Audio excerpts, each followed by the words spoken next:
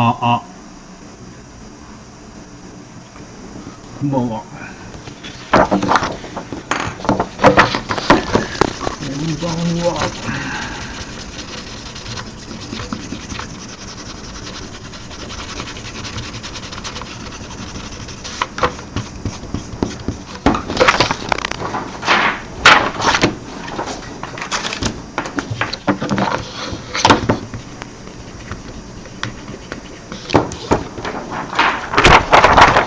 こんばんは。こんばんは。ユーストリームの方もこんばんは。こんばんは。えーと。Hello everyone.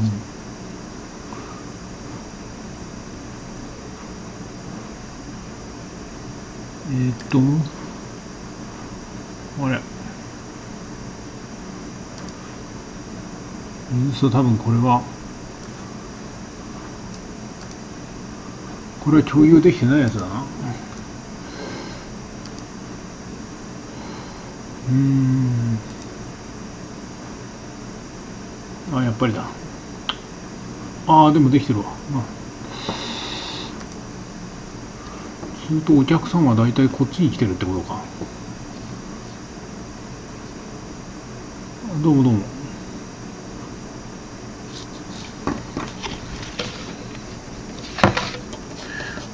ばんは。今日も京都で配信します。よっしゃ。頑張るぞ。頑張ります。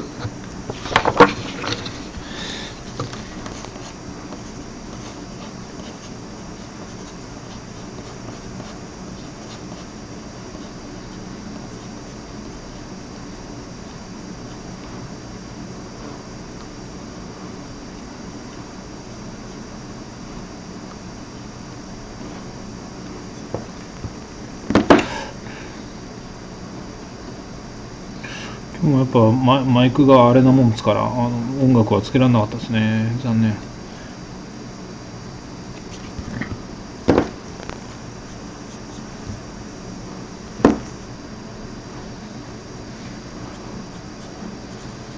あのスピーカーがピーってなっちゃうんですよね。あの朝礼とかで朝礼で使うトラメガとかでよくよくなるやつ。あれねはい、ああ、コインありがとうございます、皆さん。コインありがとうございます。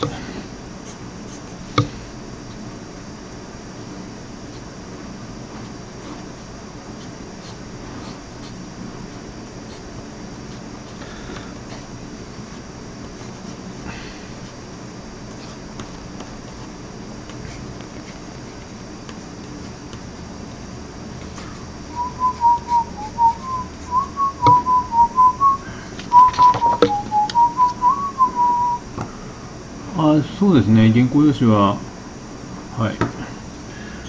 IC の原稿用紙ですね。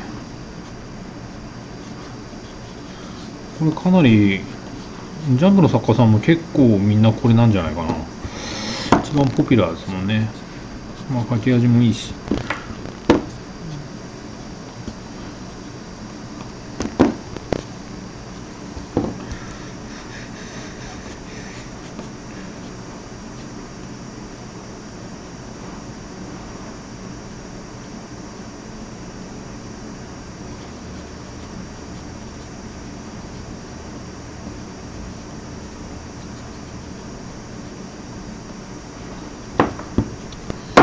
ああ、A 級の地上班の連中ももうちょっとなんかね、いっぱい書きたいんですけどね。お疲れ様です。配信アプリ変えられたんですね。そうですね。ちょっと変えてみました。でも、ユーストでも同時にやってやってますよ。一応、あちらの方にもお客さんいましたんで。はい。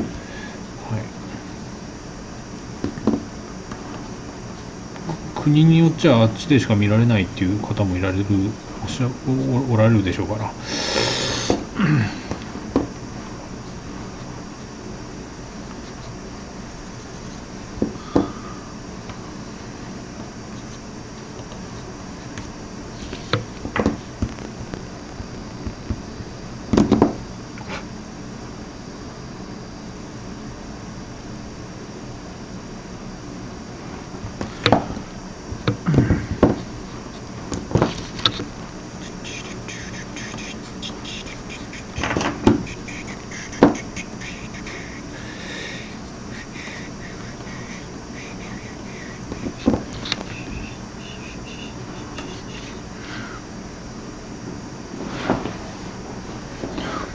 精子出てきた瞬間声出して喜んでしまった。ああ まだ黄金にはなってないですね、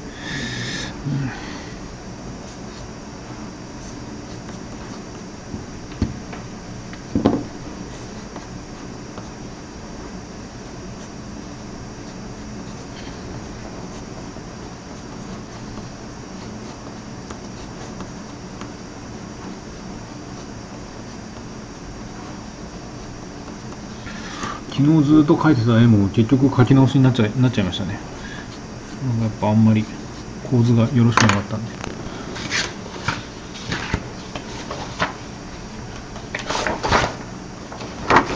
ちょっと主張が足りんと思ってこんな構図に変わりました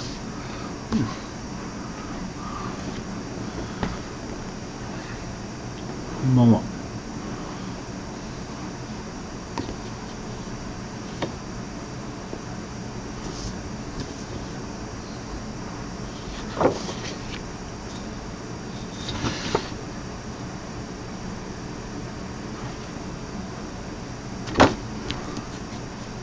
昨日よりはちょっと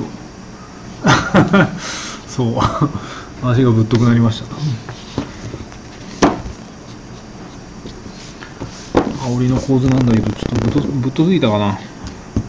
ぶっとすぎたかな。何メートルあるんだって感じだもんなこれ身長。誤差誤差。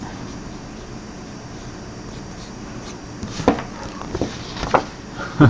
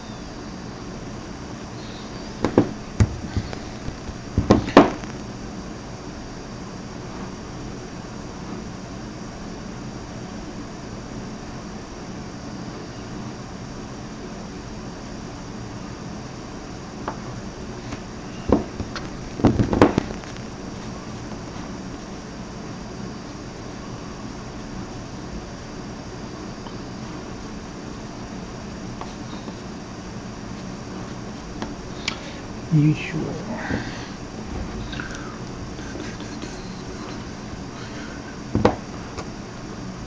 ああ輸送あうんそうか。輸送止まったりすんのか。はい guys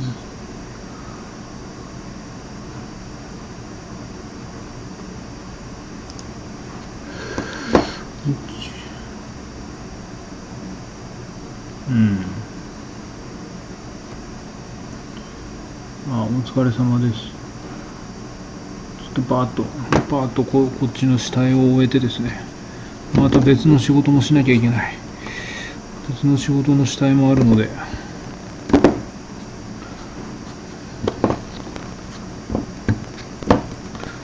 とにかく爆速で上げていきます。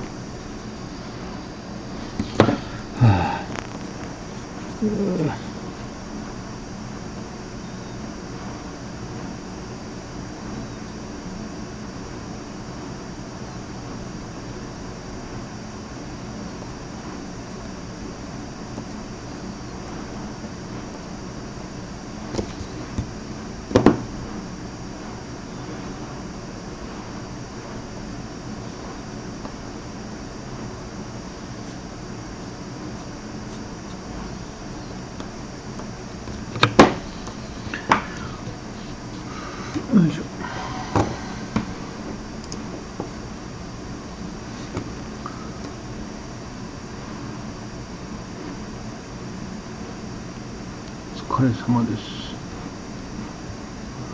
そうですねパートを終えてもう本当にパートをやるんだったらもう棒人間で済ますべきなんですけどね、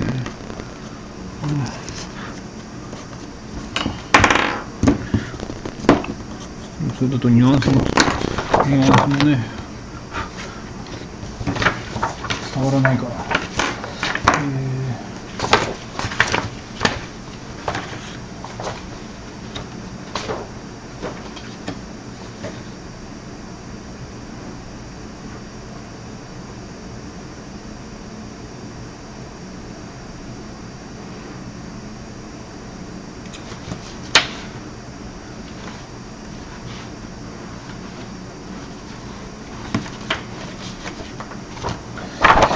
えーと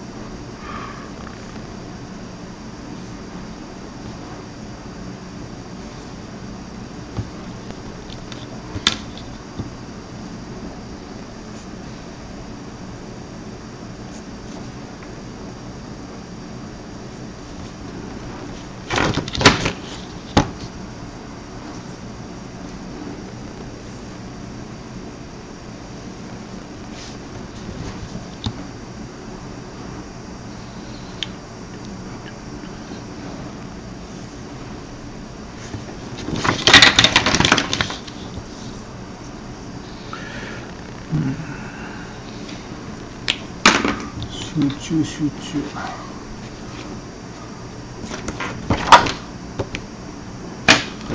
そうですね。水木はまだどこかでいやどこかでっていうかまあまあそんなすぐには退場する感じではないと思いますけど、うん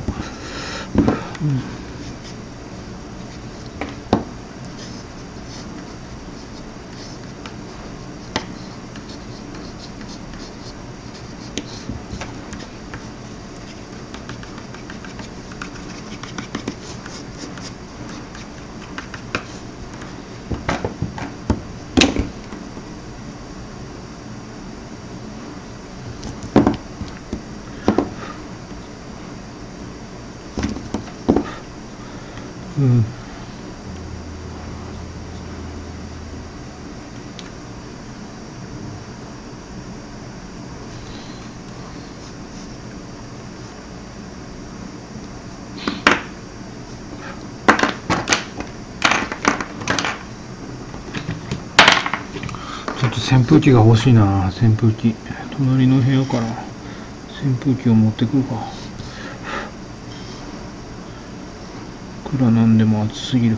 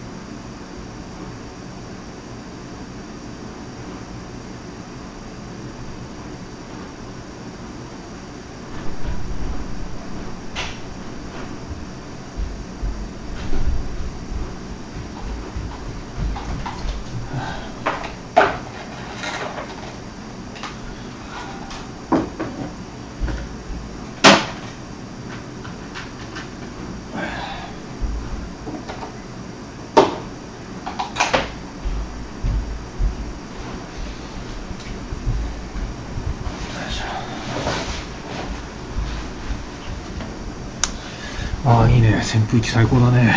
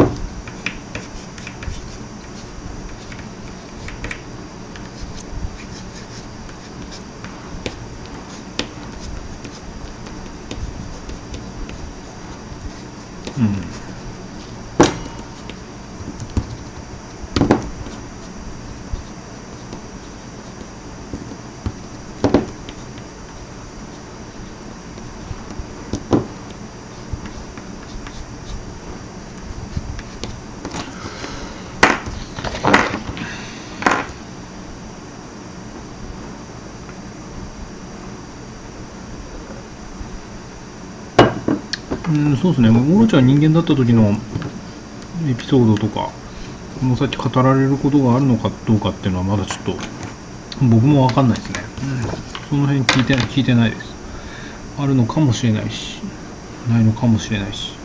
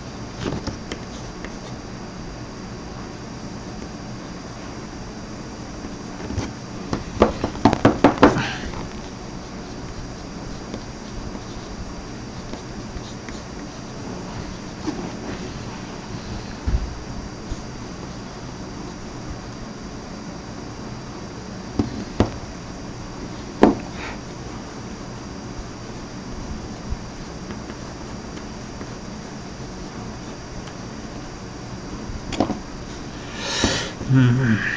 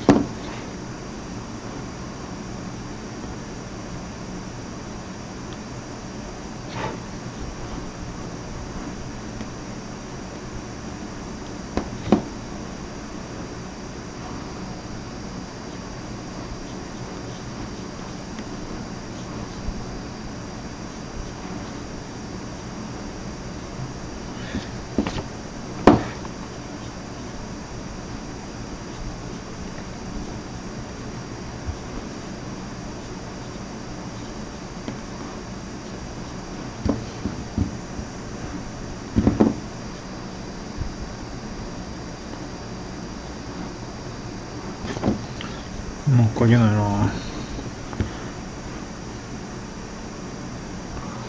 どうすれば書けっかな。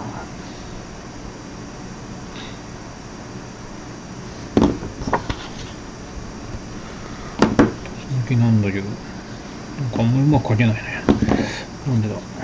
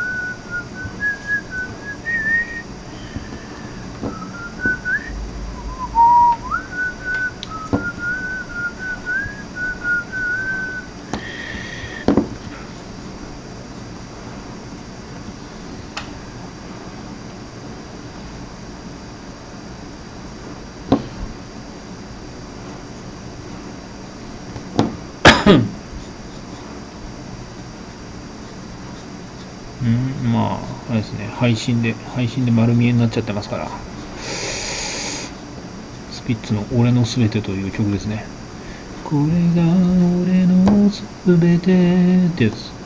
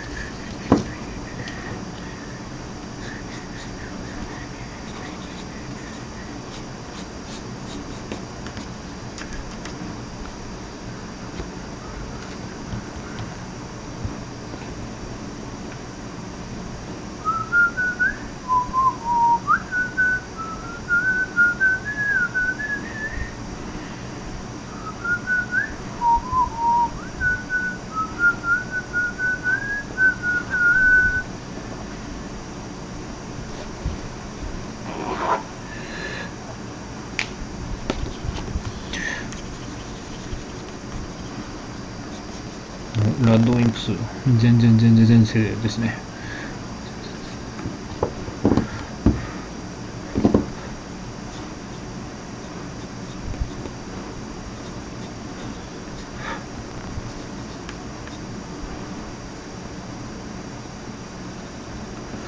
ラッドウィンプスも出世しましたね。なんかアイシールドやってる時うちのスタッフの安倍さんっていう人がラッドウィンプスのドラムの人と友達でなんかラッドウィンプスっていうバンド名は随分前に聞いたんですけどまさかこんな出世するとは思い思いませんでした。俺自身は会ったことないんで全然間接的な縁なんですけど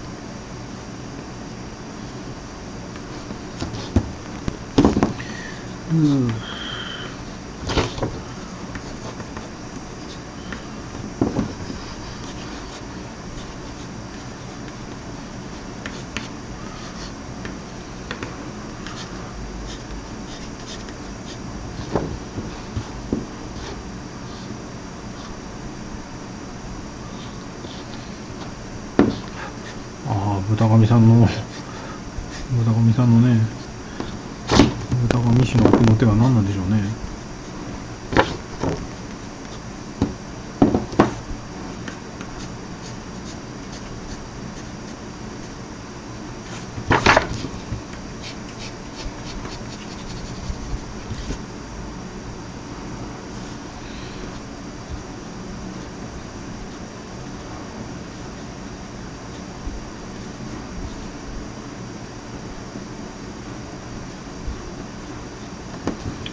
豚髪後ろ。豚髪後ろ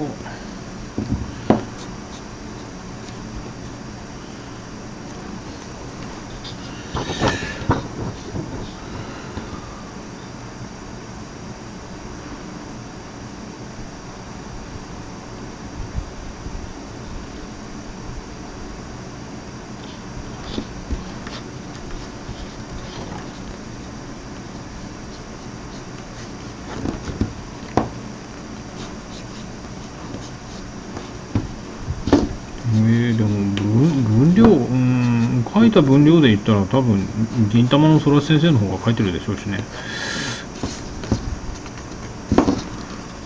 なんだろう週刊連載やってたらそんなにあの長く週刊連載やってたらやってる人とそんそんなに書く枚数自体は変わってないはずですけどなんか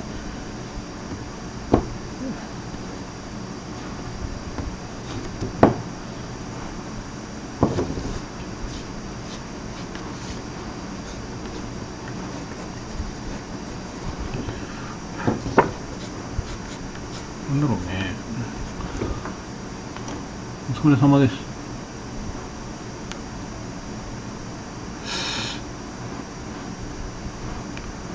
なんか量よりもやっぱど本気で描いた絵が何枚ぐらいあるかっていうとこなんですかね。あの量いっぱい描いてもあんまりなんかいつも通りの流れ作業で描いてるっていうんだったら別に上達はしないでしょうしね。なんか今回これを書くことになったからちょっといろいろ調べて納得いくまで書こうって思った絵を何枚描いてるかっていうことなのかな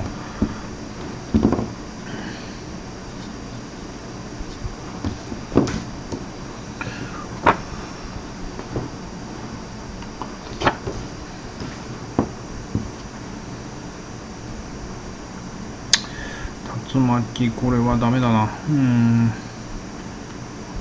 背景がわからん。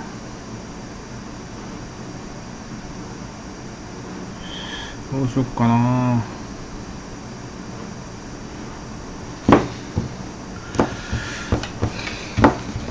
ここじゃエロくは書けないな、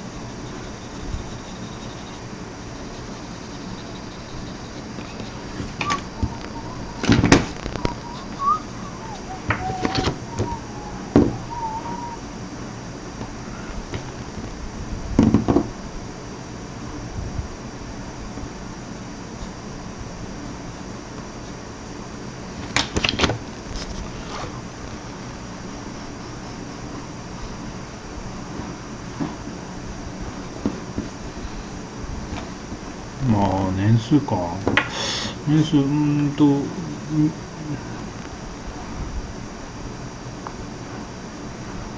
十うんと連載持ってから16年ですかね。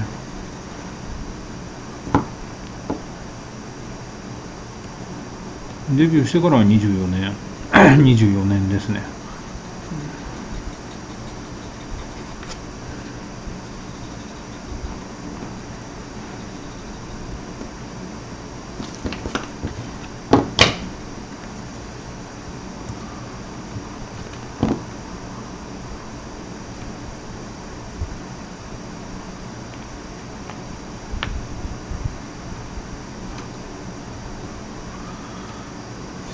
そうなんですよね。うちでスタッフで入ってきてくれる子なんて俺がデビューした後に生まれた子ですからね。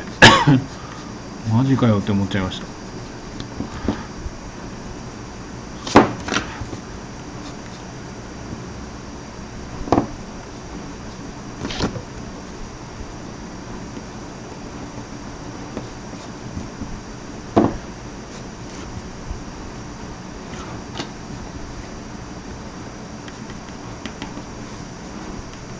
下積み時代は辛か辛かったですか？いや全然辛くなかったですね。俺は俺は全然なんかなんかあれだな。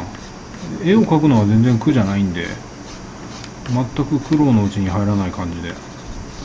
楽をしすぎた感じですかね俺は。それがあんまり良くなかった。これはちょっと反省してるとこありますね、うん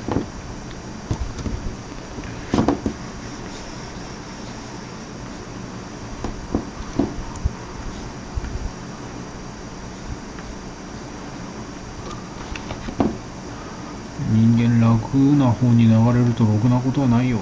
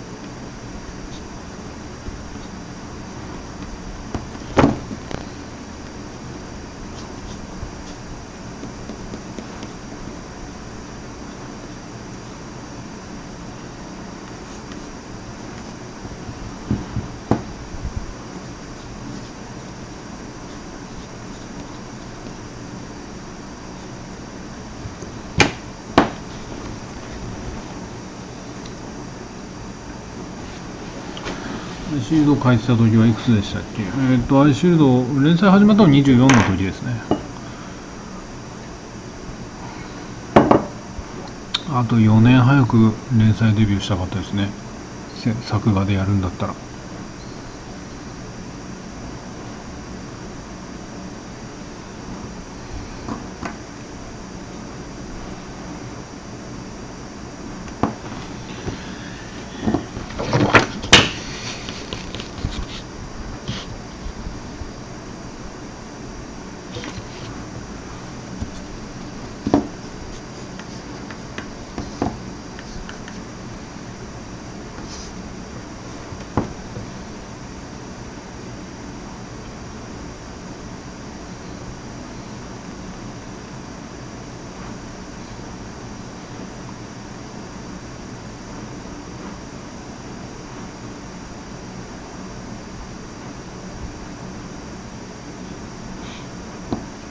敬する漫画家って言いますか。うーん。まあでも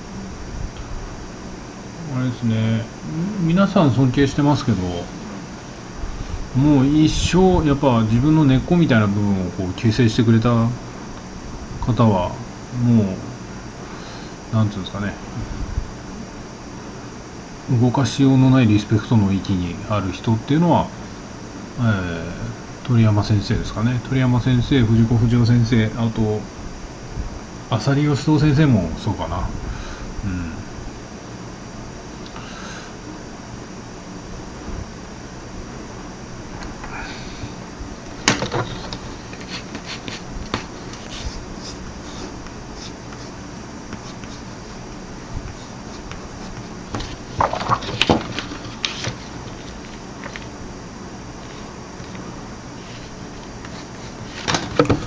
そうですね漫画っていうものの面白みを教えてくれたのは鳥山先生ですかね。あと絵を描くことの元への憧れというかこんなに描けたらいいよなってこんな可愛くてかっこいい絵が描けたらいいなって思いおやっぱ思いましたからね心底は、うんでその憧れは今も消えてないですから。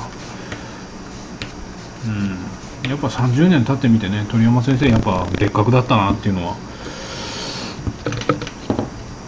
時が経つにつれやっぱり強くなりますから。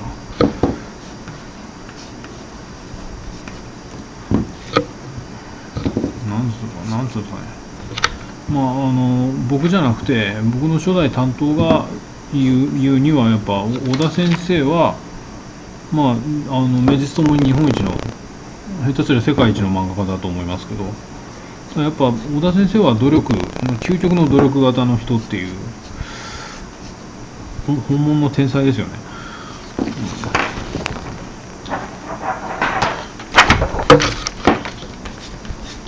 うん。まあそうそういう認識ですね。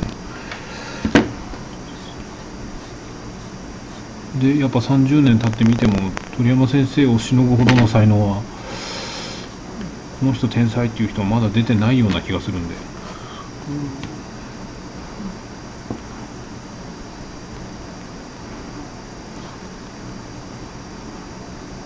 もちろん「ワンピースすごいですよ、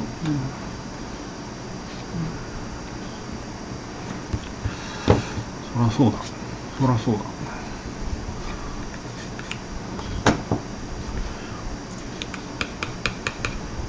名実ともにあの天下を取るという天下を取るというその漫画で天下を取るという本当の意味でのね天下を取るっていうのをあそこまで体現した作家さんはもう空前絶後でしょうからそれはもう帝王ですよね。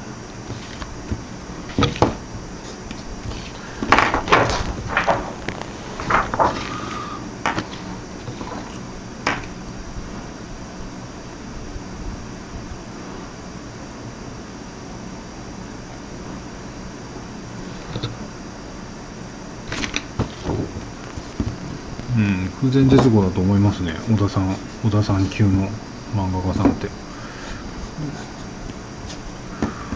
んそれそれとはまたちょっと違う角度で、えー、と鳥山先生はまた空前絶後の人で、うん、多分漫画というジャンルがねあの滅ぶまで多分ああれあのレベルの人って出てこないんじゃないかなって思いますね、鳥山先生のどこがすごいかっていうのはもうとことん研究してきたんですけど、うん、やっぱりいないですね。ああのレベルの人は。あのレベルでできてる人って、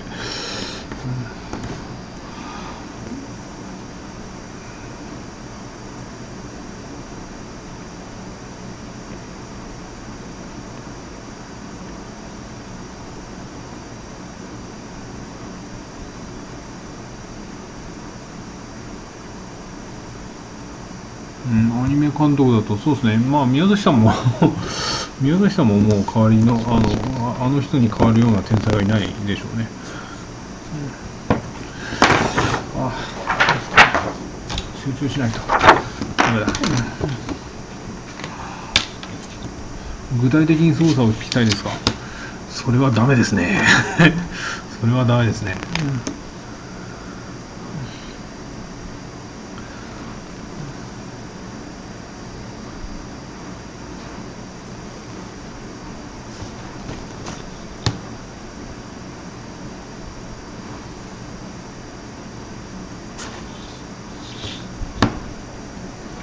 鳥山先生の凄さなんて鳥山先生の漫画なんてどこでどこ行ったって手に入るわけだしそれと他の漫画を比べれば多分それぞれ答えは出ると思いますよ。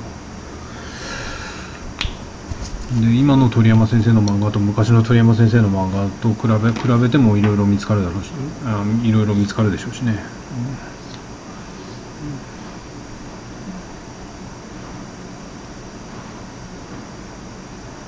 あ浦沢さんの作品とか読むんですか？そうですね。浦沢先生の作品は俺とにかくとにかくマスター・キートンが好きで。マスター・キートンが好きでマスター・キートンだけすげえ読み込んでますね。読みな何度も読み読みますね。マスター・キートンはもう年取るとよあの読むところが変わっていくやっぱいいいい漫画なんでしょうね。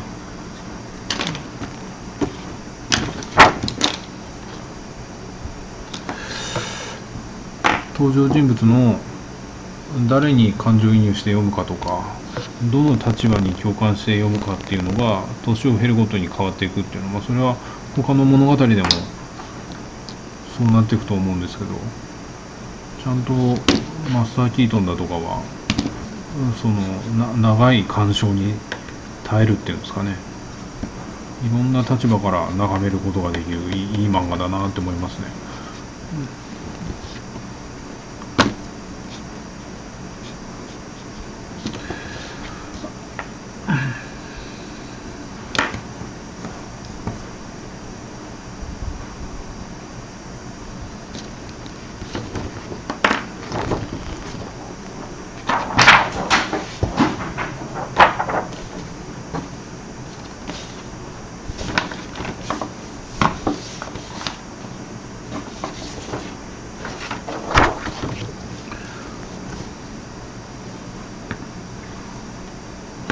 やっぱああれだなあの俺米屋で兄貴と一緒に米屋でバイバイトしてた時期があったんですけど中学ぐらい中学中学生高校生あれ中学ぐらいの頃だったかな。兄貴が友達からマスターキートンの13巻借りてきてて奥で奥でダメなやつ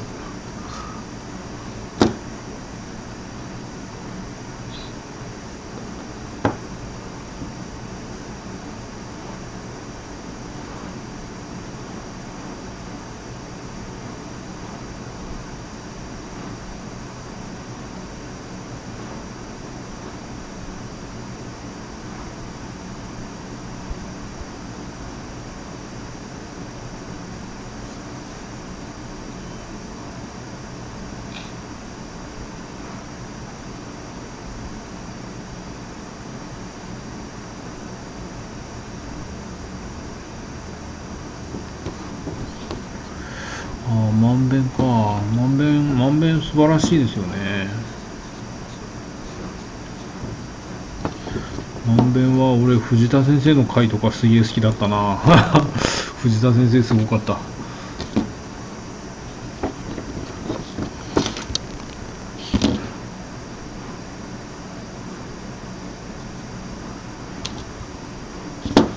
うんうまく表情表情が描けないなーってなった時に割り箸出してきて割り箸で描き始めるっていうね。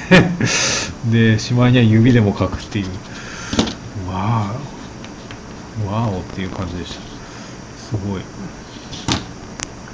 表現とはっていうのをね突き詰めてる方ですよね。藤田先生。13巻ってどの話でしたっけ？えっとね。えっと副題がライオンの騎士だったかな。あのトム・バウアーの話。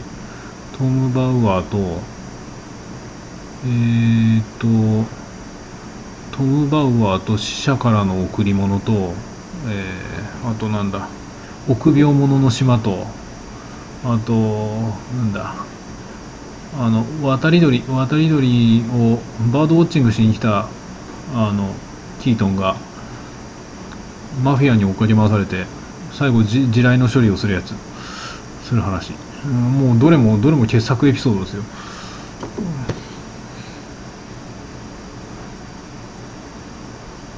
部活は水泳部でしたね。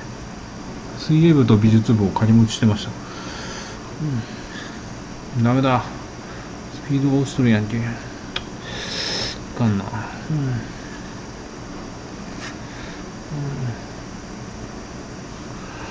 うん。まあでもなんか絵ばっかずっと描いてるんじゃなくて水泳をちょっとかじってたっていうのは良かったですね。なんか何もスポーツしてなかったら全然体力もつかなかったでしょうしとにかく体が頑丈じゃじゃないとこの仕事できないからそこは良かったのかもって思いましたね。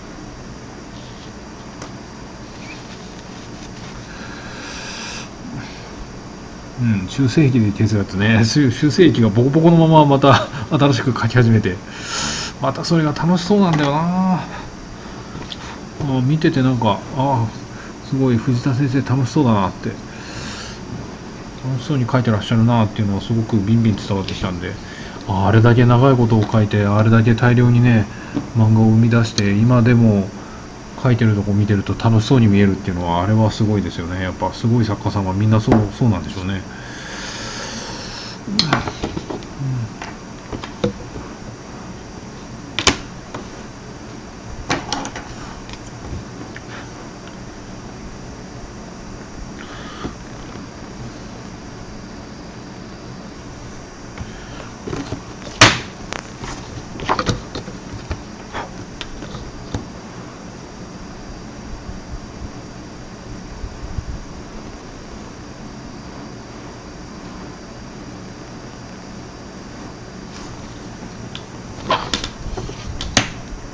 あれツイキャス一時的にダウンしました。あら。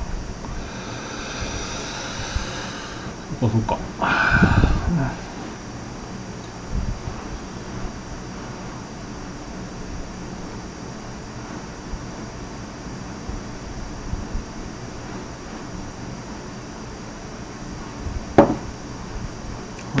まあユーストリームは大丈夫。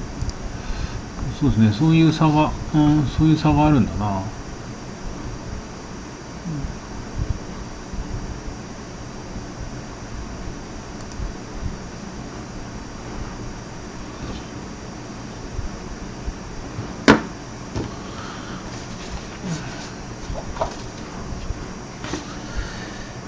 よし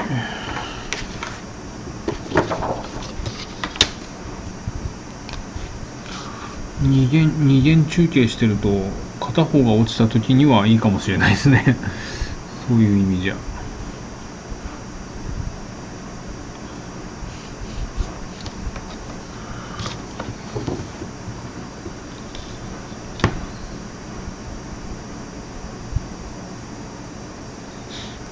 水泳部はまあでも一通りやらされましたね。まあなんかそんなにそんなにめちゃ速い方でもなかったんで。常に部活内で2番手ぐらいの速さでした。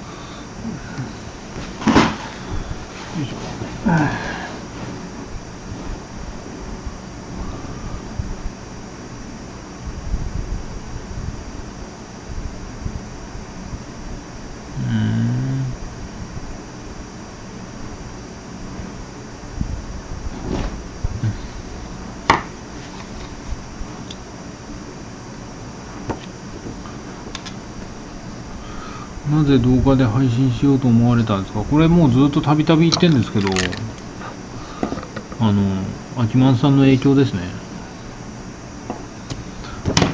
アキマンさんが昔ユーストで動画を始めあの配信動画配信を始められて俺もコメントしたいなと思ってログインしたら上にボタンが配信っていうのがボタンが出てきて。何これと思ってポチってやったら配信が始まったんで。面白いからやってみようっつって。最初は最初は声ついてなかったんですけどね。さすがに喋んのは無理だろう俺って。俺喋んのは無理だろうと思って喋喋んないでいたんですけど。しばらく続けてまあいっかと思って声喋り始めたら意外と面白かったのととまあ主に続けてるのは宣伝ですかね。宣伝。でもななんかもう宣伝としての役割はもうちょっとなんか終わりかけているというか。もちろん宣伝はするんだけどツイッターの使い方がもうちょっと昔と違うから。っていうかもう最近ちょっと意識を変えて使ってるから。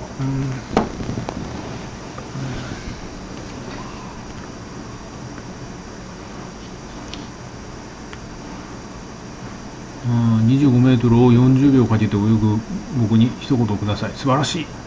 素晴らしい。40秒かけてでもちゃんと,、えー、と25メートルを泳ぎ切るのが素晴らしいですね。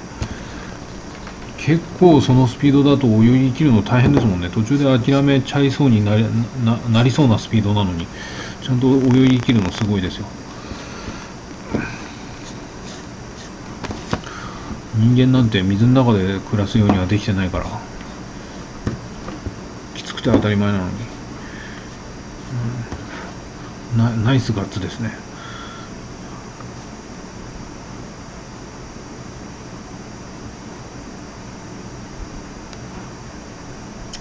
今回幹部の戦闘あります。あありますよ、ありますよ。童貞君と童貞君とフラッシュが消化されますね。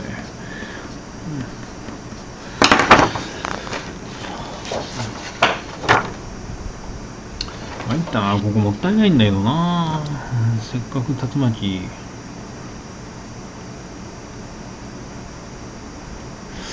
竜巻のな。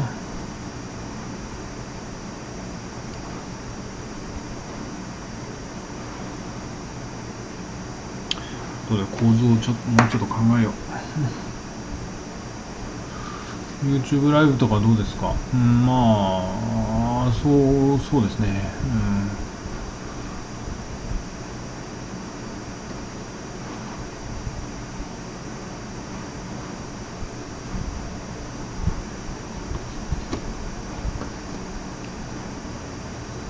うん。重たくて落ちるし止まる戻ってきました。良くなってきたってことかな、まあ YouTube ライブも考えたんですけどね。うん。まあいずれいずれやることもあるかもしれないですね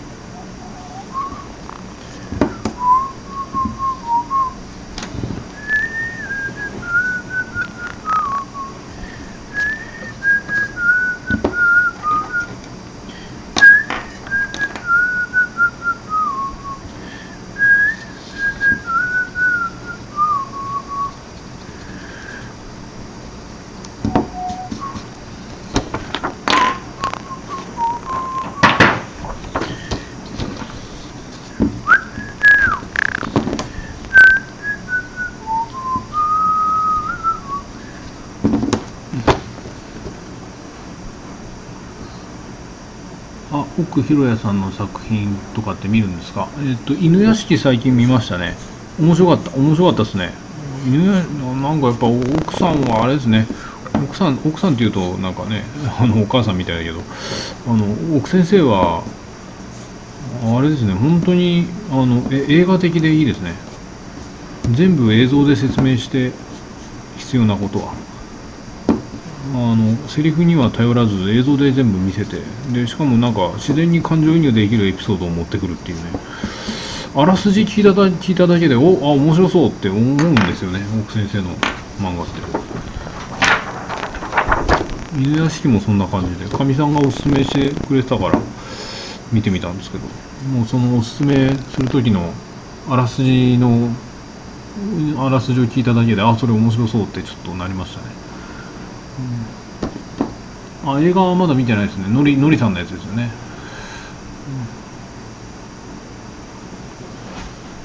いつ漫画家になりたいと思いましたえっ、と4歳ぐらいかな。幼稚園の時。幼稚園の時になりたいっていうよりはなんか漫画家っていう職業があるっていうのを知って鳥山先生のおかげでこんな絵描きたいって思ってこんな絵描く仕事があるんだったらそうなりたいっていうふうには思いましたね。具体的に漫画家になろうなろうかって思い始めたのは高校入ってからかな。高校高校1年の時ですね。高校1年の時にジャンプに投稿しようって。俺が高校1年の時にあの俺の3つ上かな？3つ上だったかな？いや2つ上か。2つ上の新人さんがジャンプで入選を取ってて。あやべえもう俺と同じ世代の人でもこんなことできる人いるんだと思って。打倒山川香織っつってその山川香織さんっていう人だったんですけど。その方を目指して頑張りましたね、うん、俺も入選取るんだっつって、うん、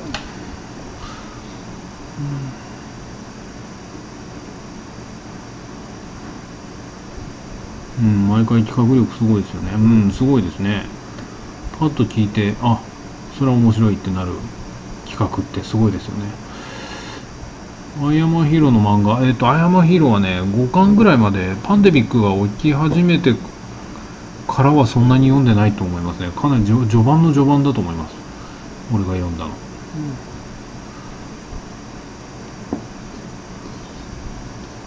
ギガギガントは見てないな。あんまり俺漫画読まないんで、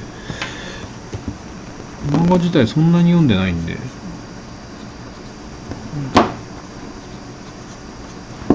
まあ、そのせいで漏れてしまってる部分もあるんですけど昔な闇金牛島くんとかすげえ好きだったんですけどちょっともう読んでないですしあのだいぶ長いことちはやふるもめちゃくちゃハマったのにだいぶ間空いちゃってるしな。めっちゃ好きなんですよね。別になんかめっちゃ好きなんですけど、うん、あ飽きたわけではないんですよ。なんか読む時間がないとなんとなく読まなくなってしまうっていう、うん、もったいないんですけどね。傑作であることは分かってるから。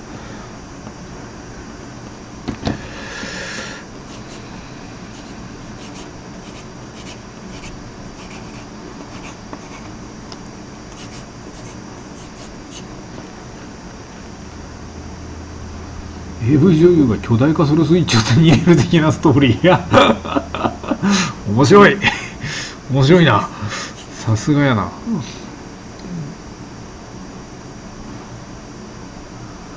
バグマンのような感じでいいですね。うわ、新妻イジ、俺たちより一つ上なのに受賞。あー、あでもなんか、そういう点では、バグマンはなんかすごい親近感ある感じですよね。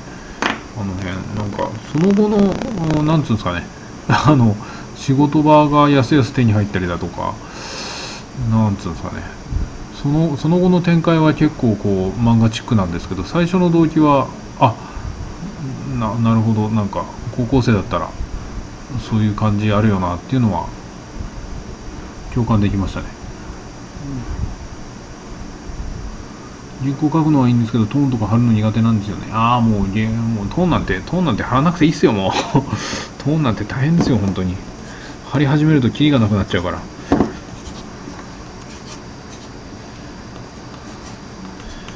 貼らないで済ませられるんだったらそれが一番いいですよ、うん、仕事がない自由の一人の時間が一人の自由の時間？一人の自由の時間なんてあったってろくなことしないからな。まあ新しい漫画描きますよ、うん、ちょっと待ってもらってる漫画もあるしね。え絵描くか漫画描くかしてますね、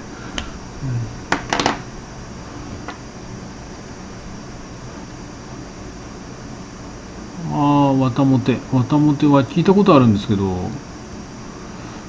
聞いたことはありますけどね。まだ読んだことはないですね。あ一番初めて読んだ漫画は寄生獣でした。面白かったです。ああ寄生獣だわ。そうだ。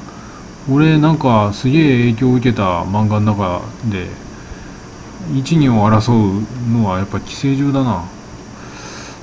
藤子先生よりも影響大きかったかもしれないしな、めちゃくちゃハマった、うん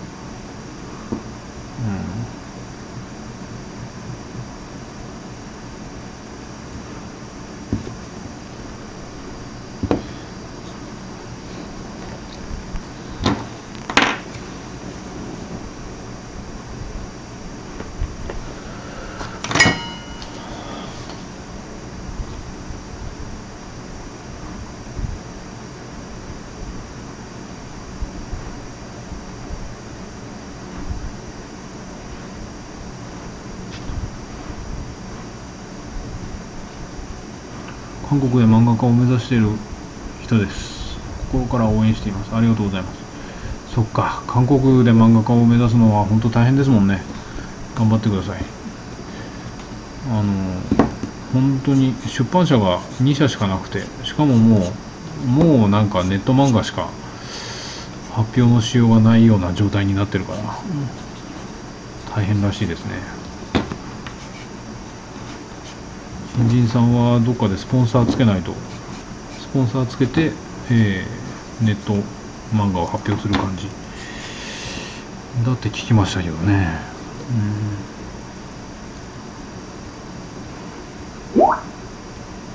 はい。はい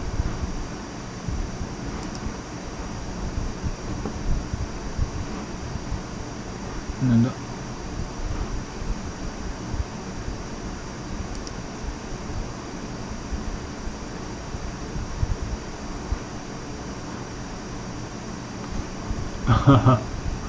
怖っ。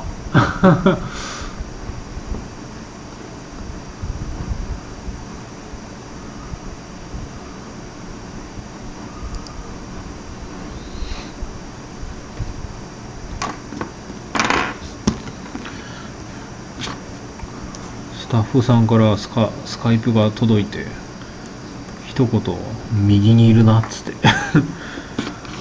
右にいるなっつって。なんか一言あってすぐ消されたんだけど、まあ、間違間違い投稿だと思うんだけどなんかなんか 気になるな。右に何がいたんだろう。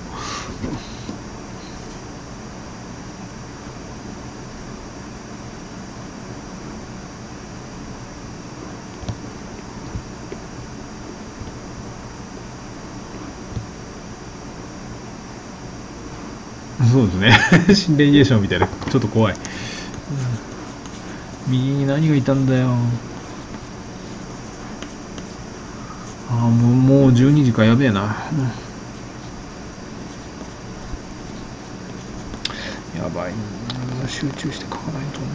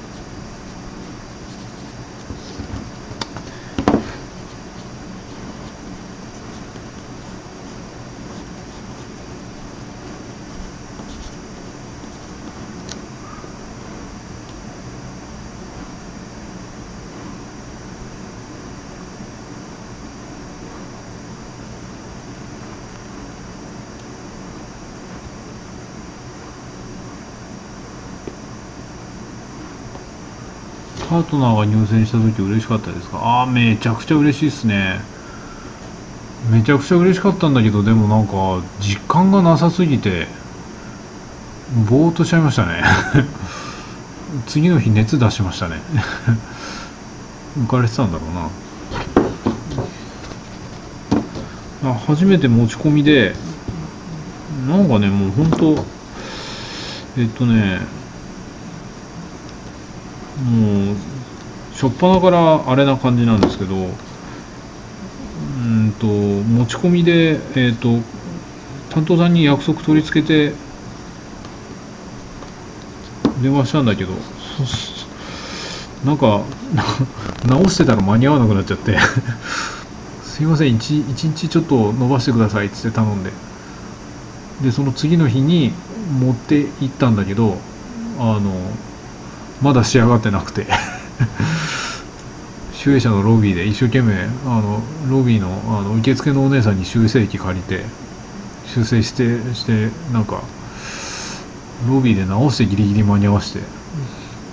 で担当さんが降りてきたら「ちょっと遅れたね」っつって言われて「ああすいませんなんかちょっとなかなか仕上がんなくて」って「いやいやいや今日今日ちょっとあの 1, 1時間遅れてんじゃん」みたいなこと言われて待ち合わせの時間も1時間を間違えてたっていうねうん今とあんま変わんねえよ。やってることが。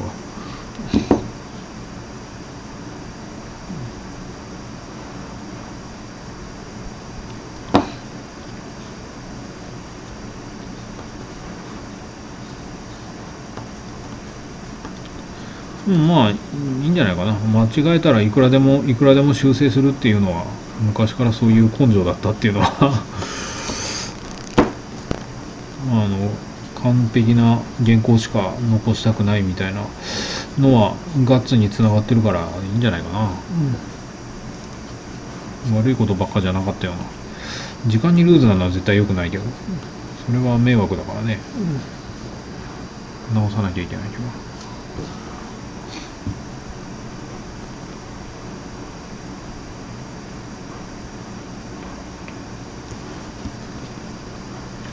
もうなんかあれですよ。1から10までそんな感じですよ俺。もういい加減いい加減そういうのそういうとこ直さないと。ダメだ。だってロックマンでロックマンで最初にダストマン。ダストマンをね13歳の時にダストマンがえっとボスのボスキャラ募集のコンテストに入選してえー、ロックマンに登場したのが初めて世の中に名前が自分自分の名前が出たっていう。いうのの実感があった瞬間だったんですけどそのロックマンのボスキャラもねあの応募の締め切りに遅れてではがきは上下逆に書いちゃっててでしかも送り先も間違えて私書箱じゃなくて本社に送っちゃってたのになのにあの温情で 入選してもらえて入入選で選んでもらえてうんななんか なんかこんな感じなんですよね。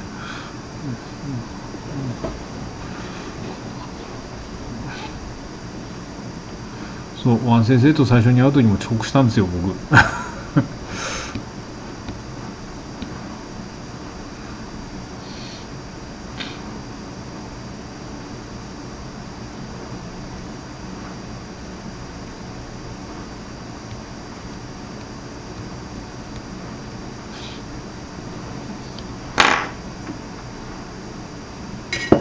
ろいろ許され許されるとか甘えてちゃダダメですよ。そんなの。迷惑かけたらダメだから。マイナスだからねそれは。周りにとっちゃ、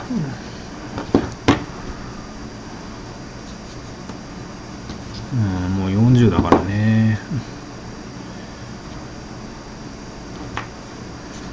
まあ友達に言われましたけど2回目の2回目の二十歳ですねっつって。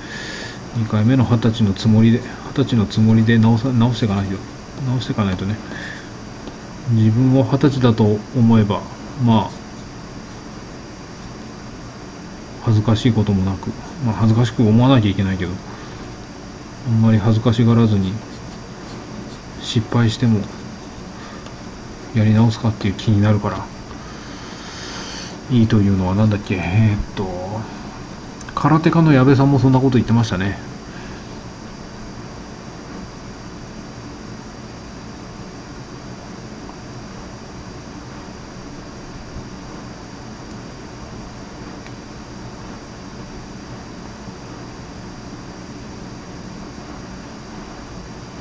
そうそう。うん。2回目の二十歳だってあの空手家の矢部さんもねなんだっけ大家さんと僕でしたっけ？漫画で賞賞取られてその時のスピーチでねあの僕はもう 10, 代だと自分がまだ19ぐらいだと思って行動してるんですつって。19ぐらいだったらなんか芸人で芸人としてなかなか大成しなくて伸び悩んでた時期もあってその時になんか大家さんに励まされた言葉の中にあったらしいんですけど「あの矢部君は若くていいわね」っつって「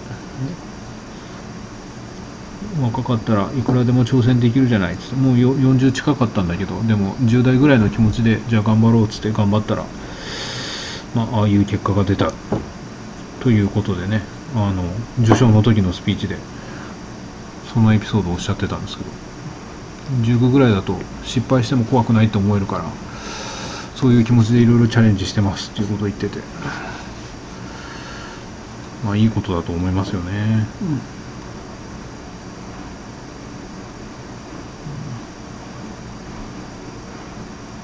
あすげえお茶がいっぱい出た。ありがとうございます。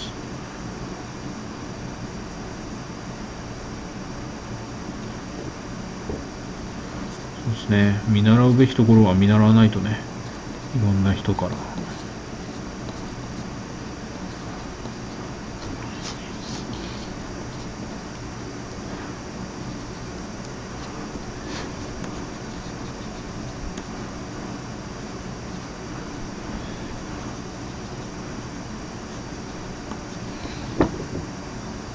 ああ大家さん亡くなったらしいですね。そうですね。うんそのニュースも最近見ました。っていうか俺はそんな影響を受けてると 配信で言うぐらいなのにまだ大家さんと大家さんと僕を読んでないんですよね。買っちゃおうかな。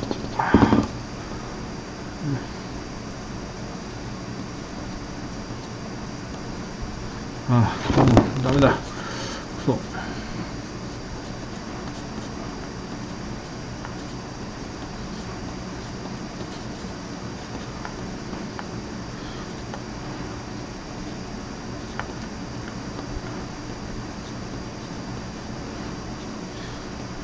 集中しないと。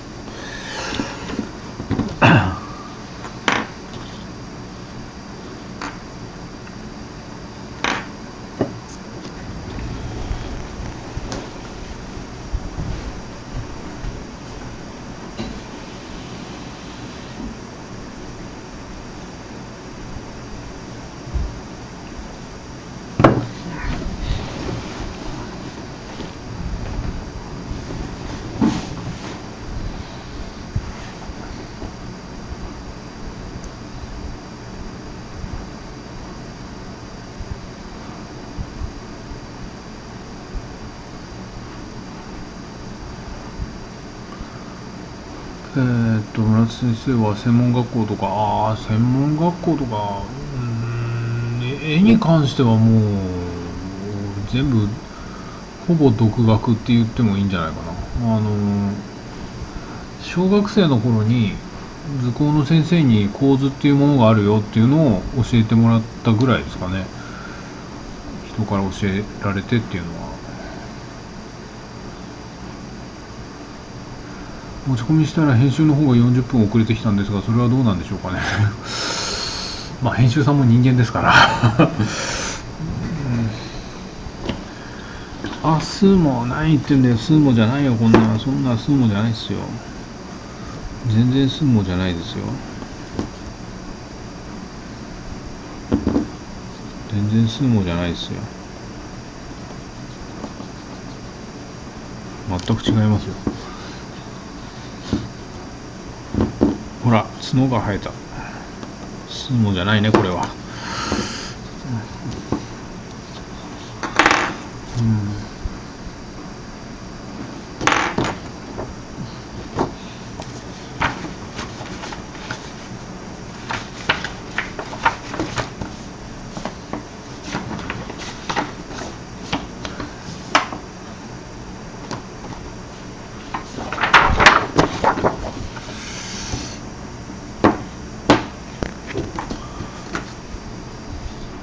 2のうんそう2 2のって言い張ろう。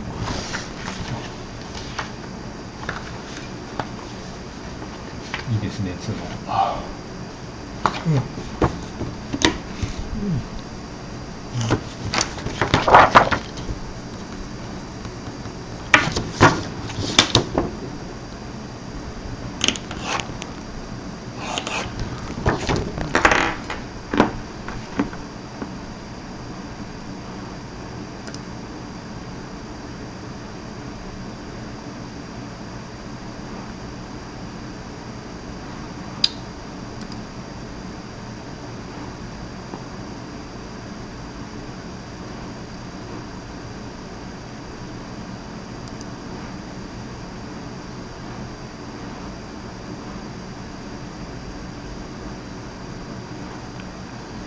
この漫画のために大変ありがとうございます。あなたは最高です。おお、スパスイーバー。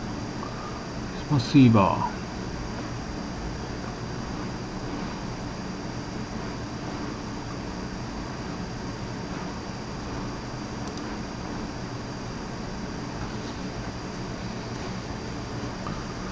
ああ、300人。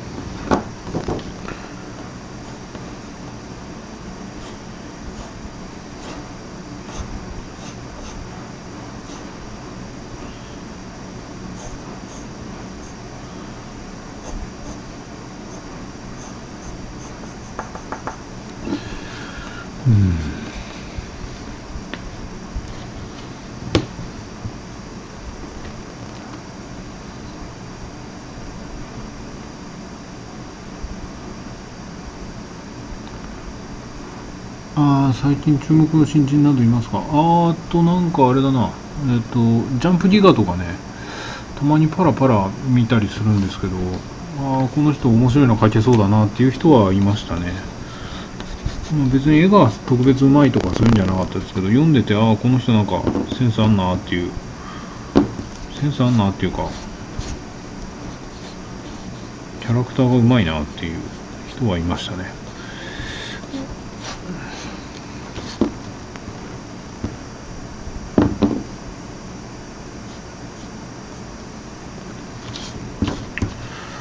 就職活動がうまくいかなくて、えー宇宙人にスカウトされて、えー地球を守る話。まあすごくベタな話なんだけどこれがちゃんと面白く書けてたから。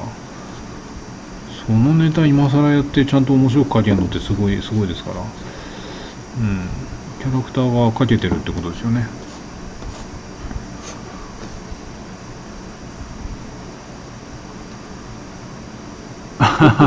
学校の美術館で人物だったら何でもいいよって言われたので村田先生とワン先生からありがとうございます。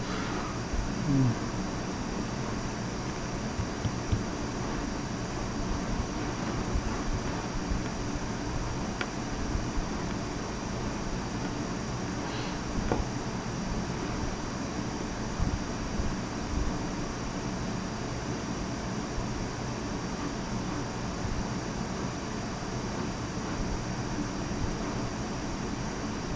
イシールドの時とかストーリー考えるのに苦しんだりしましたか？いやアイシールドは原作付きですよ。今ドクターストーン使いドクターストーン連載してる稲垣さんが稲垣先生が原作でした。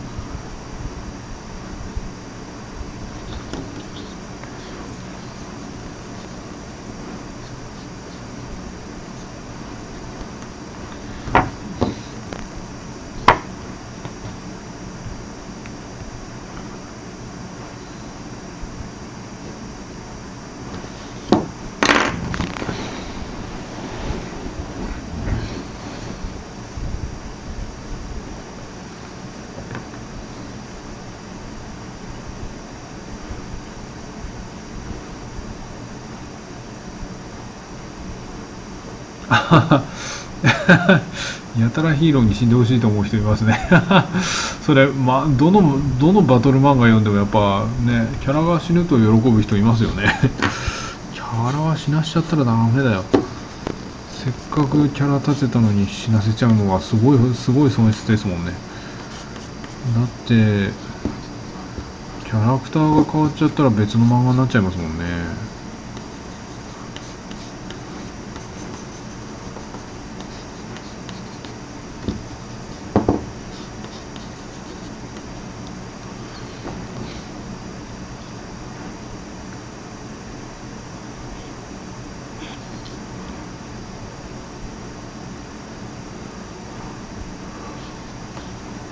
うん。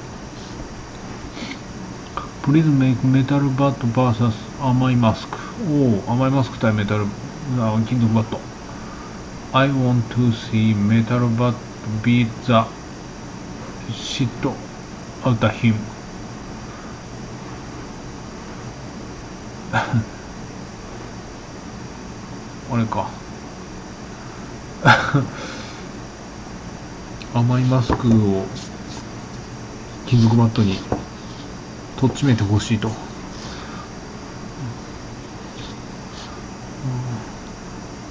beat him by metal bat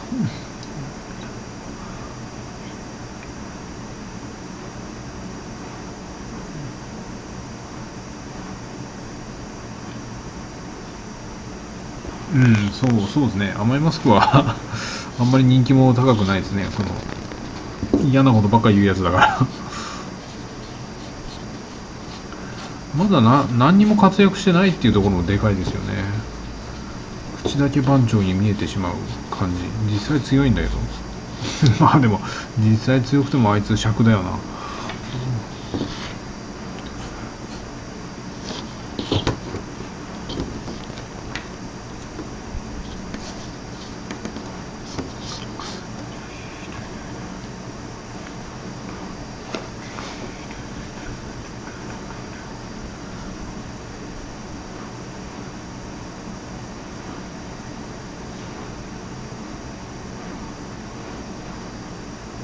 ああ童貞とのシーンの最後のくるっていうシーンが好きですまあこの先なんかいろいろ魅力を発揮するところがあると思うんですけどねあの一応先の展開はそこら辺は聞いてるんで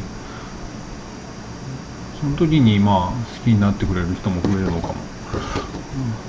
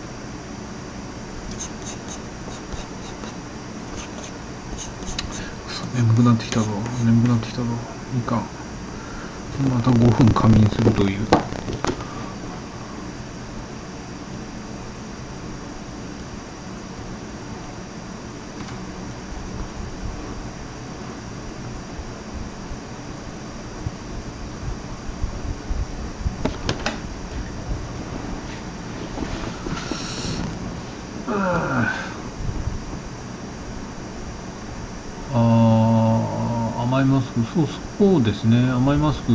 まあ究極のイケメンに描かなきゃいけないわけで。究極のイケメンはやっぱ描いててねあの書きご書き応えはあるので。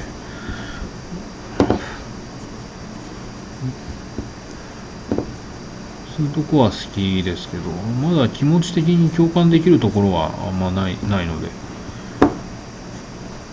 ちょっとまだ苦手意識はあるかも。一究極のイケメンでもねあのなんだ。えー、っとナナルシストイックみたいなやつは好きなんですけど。あいつ愛せるからな。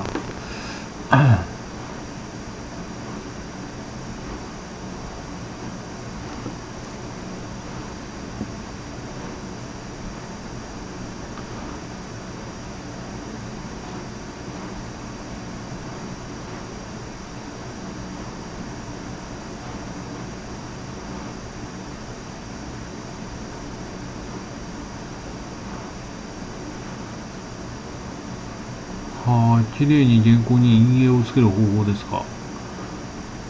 原稿の上に紙を乗せて、ああ、なるほどな。別レイヤーにすれば。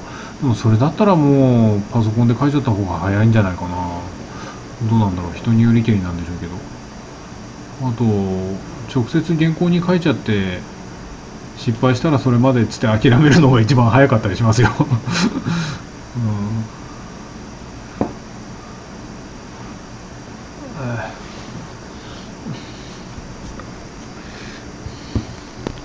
ダメだちょっと眠くなってきちゃった。畜生今日もうちょっともうちょっと進めないと。ダメだ、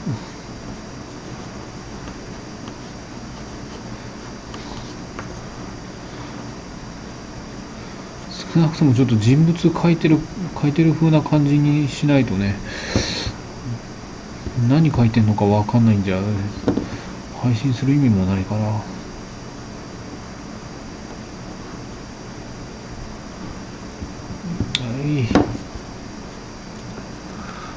コーヒー入れようか。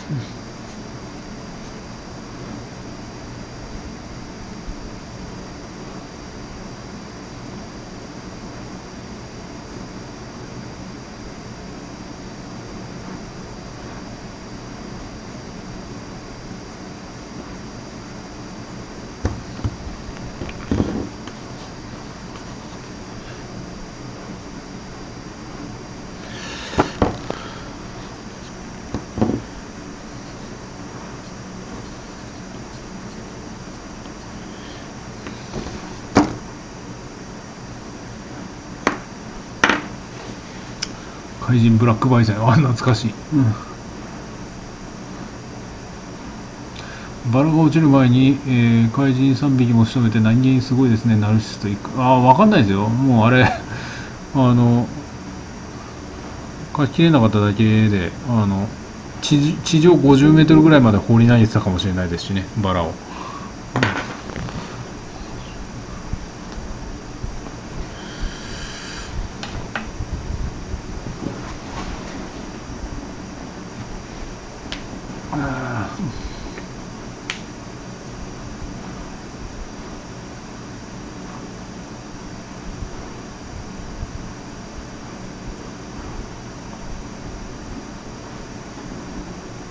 そうですね。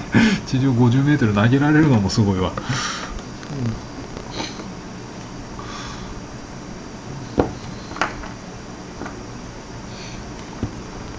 うん、しかも親指でピッて弾いて。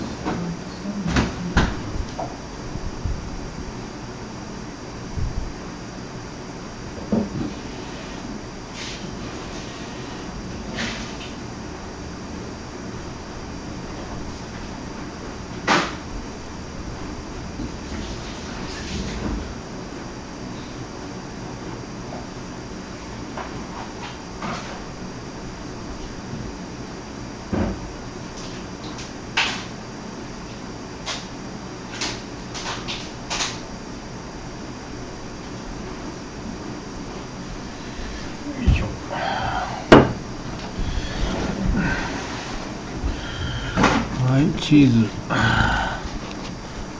ウェイい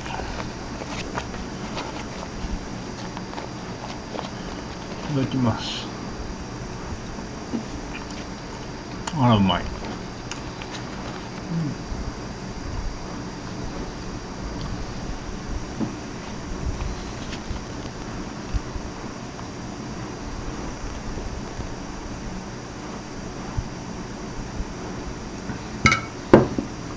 弓うん美味しい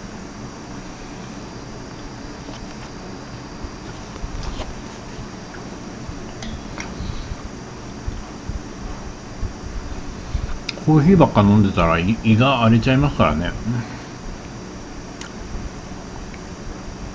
チーズは胃の粘膜に優しいから。今日のああいやでもこれ雪印だから国国内産ですよ。うん。安いやつ。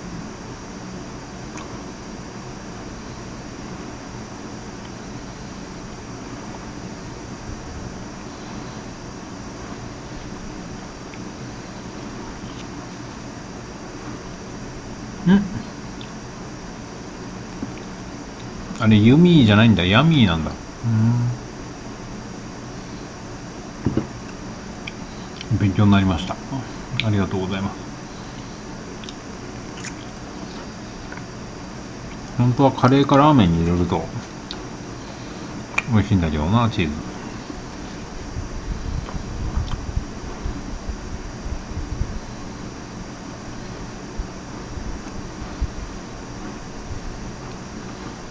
ヤミーは美味しいってことですかね。デリシャスっていう。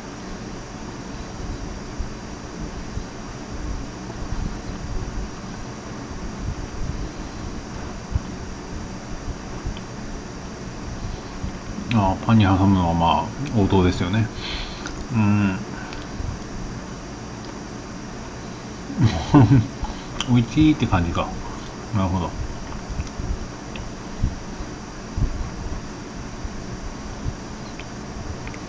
ははハンに挟むぎだハンにハム挟むぎだですね。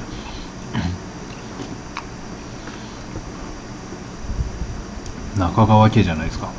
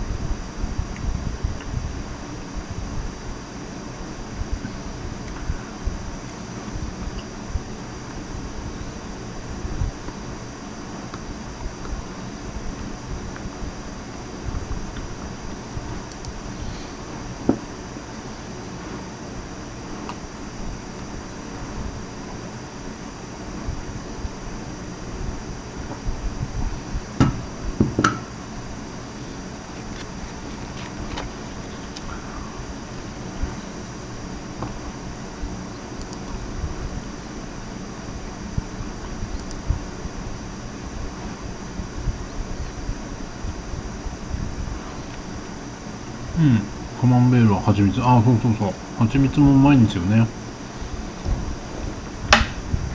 ヤムヤムという擬態語がありましてもぐもぐというか。ああなるほど。もぐもぐというか美味しくもぐもぐしている意味を持ってそれが徐々にヤミーになりましたいつヤミーあへえ勉強になった、ありがとうございます。そうなんだ。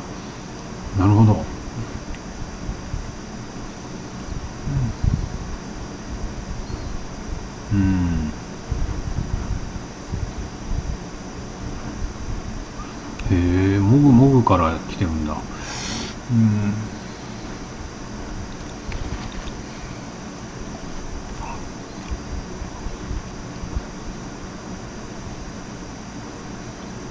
な美味しそうなのは分かるのにチーズ苦手なのでなかなか手が出ません。ああ分かります。俺もチーズ苦手でしたから。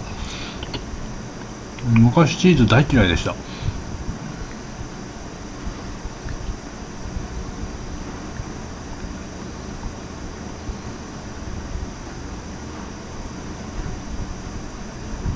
チーズ食べた後のあの下の下の上に残るのがくっせえなと思って。ベロの上に残るじゃないですか。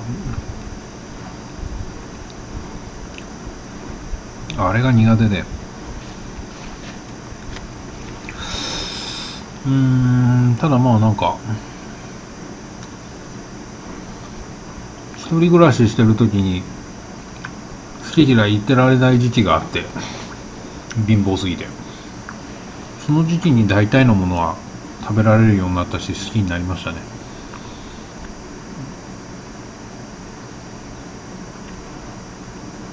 なぜ食べられるようになったんですか？何がきっかけだったのかな？まあやっぱ貧、うん、思い返すに貧乏ですね。思い思い返すに貧乏が原因です。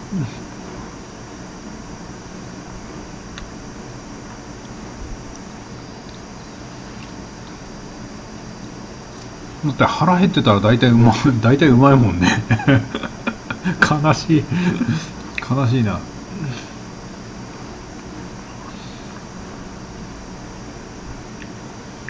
それがそうですね。コンクコンクリートにチーズかけてもうまくなりますよ。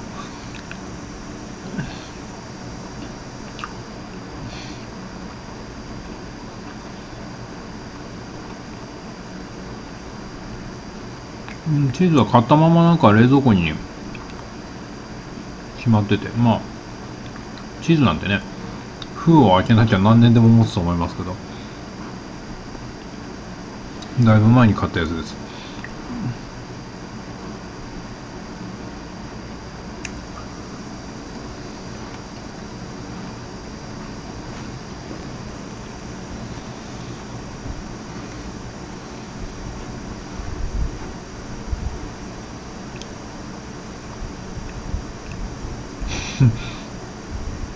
チーズキャラ。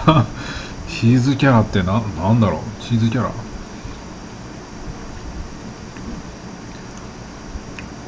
ヒーローカマンベールマンとかですかね。なんだろう？ど、どんな、どんな攻撃を？は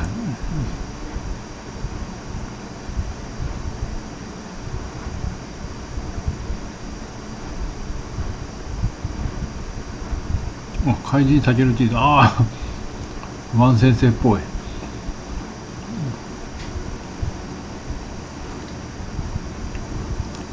まあね怪人ホットドッグがいるぐらいなんだから避けるチーズがいてもおかしくないですよね。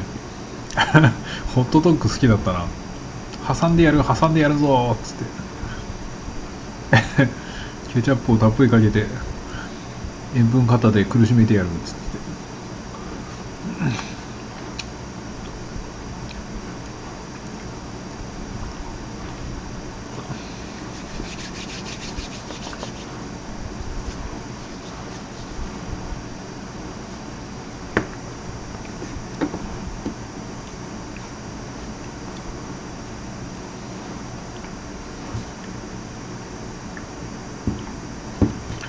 あごちそうさま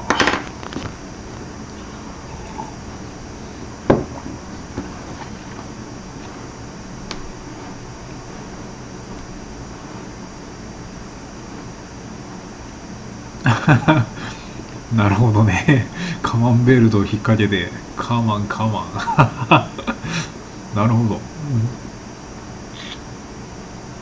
ほうほう。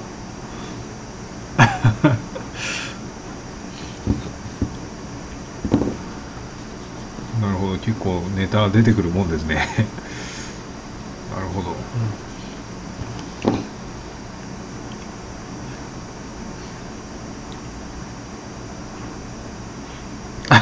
そうですね。あチーズ買うの忘れたって。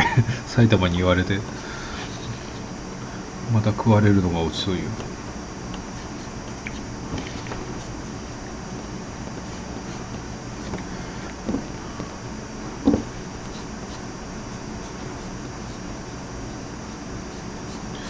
フラッシュの刀ももうちょっとデザインし直したいな。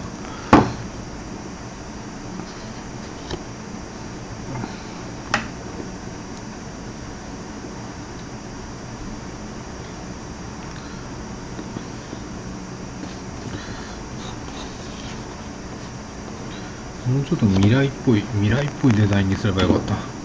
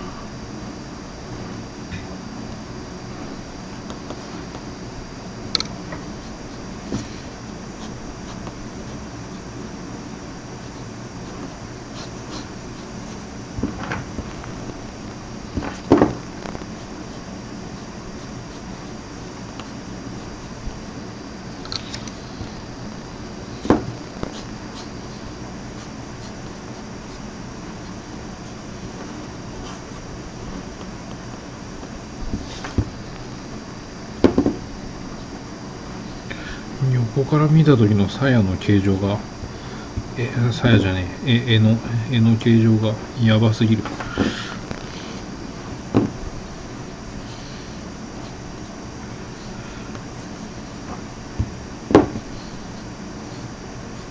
シルエットだけで描いたらちょっとびっくりしたもんな。黒塗りのシルエットで描いたらちょっとやややや問題な感じが。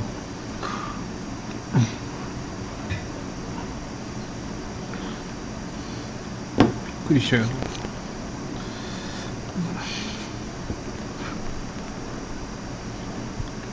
どうすりゃいいかな。まあいいか。このまま書くしかねえか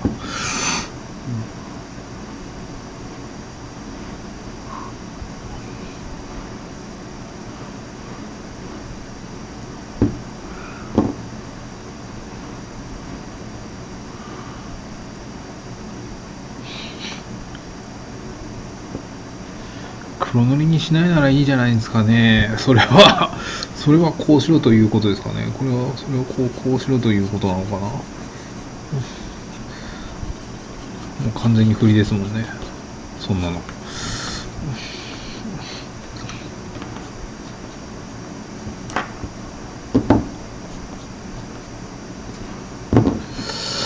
ああ、でもこれ、なんかうまいこと。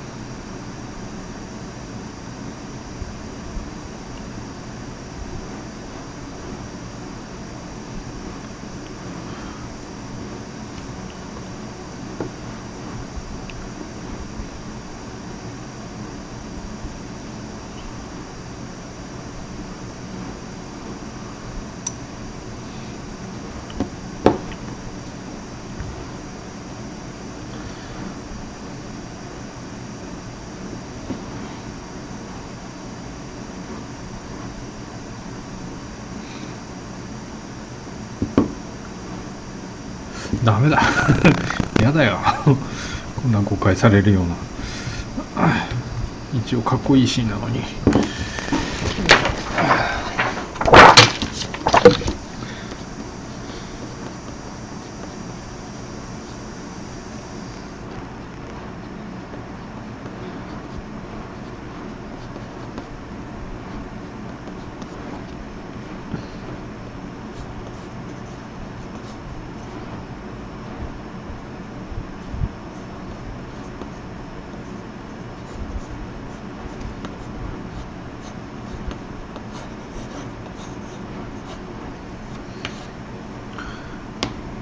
インフィニティ・ウォー見ました。まだ、まだですね。インフィニティ・ウォーはまだです。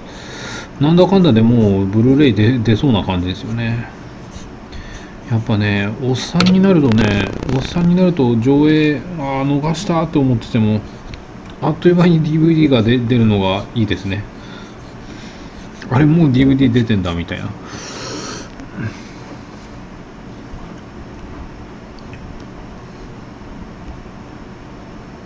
はよ見たいですよ、そりゃ。はよ見たいですけど、時間がないんです。最近は、ちょっと更新の量がおかしくなりすぎてるんで、一度に更新する量が。よいしょ。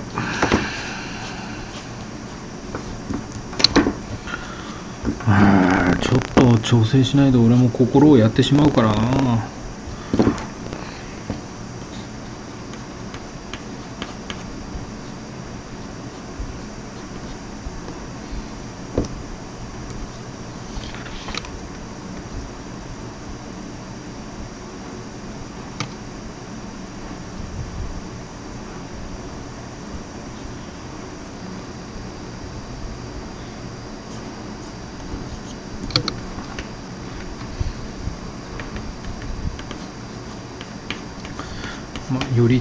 遂行できたということでいいでしょう。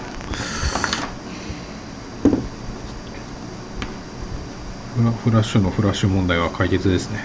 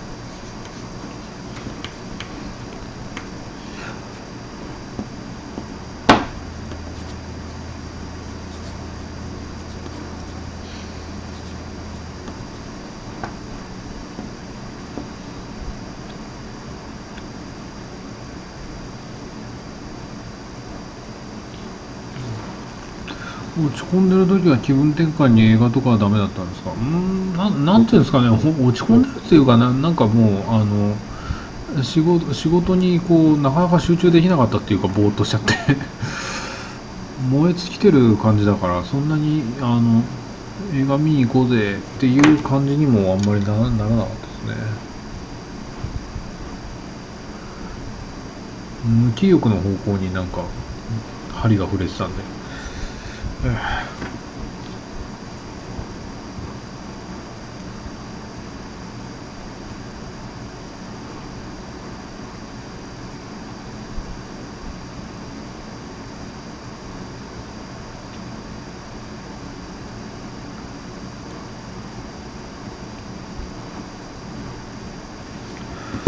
ーどどうなんですかね、えっと、監督が、監督が解雇されちゃって、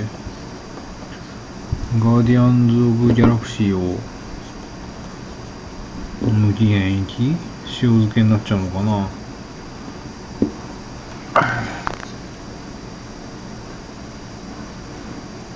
あ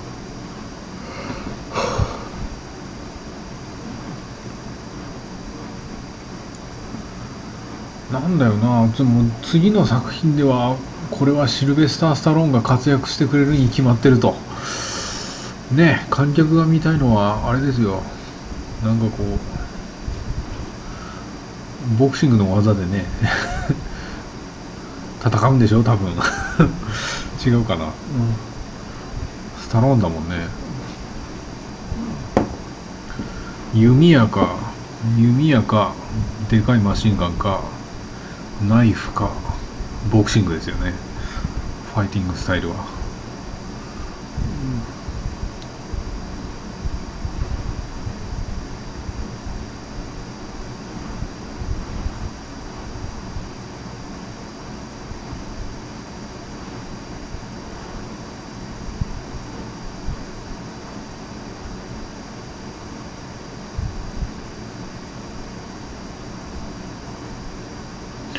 ヨンドゥとメリーポピンズの共通点。えなんかあるんですか？メリメリーポピンズと。うん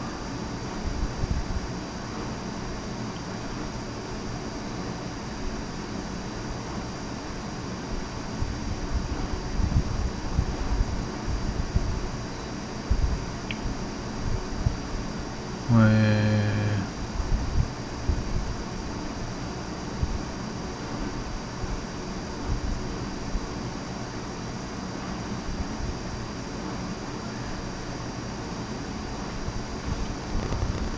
ー、4度よかった泣いたなそうですね。4度よかったですね。あいつはお前の親父かもしれねえが。あ違う。あいつはお前の父親かもしれねえが親父じゃなかったっつって。かっこいいっすよね最後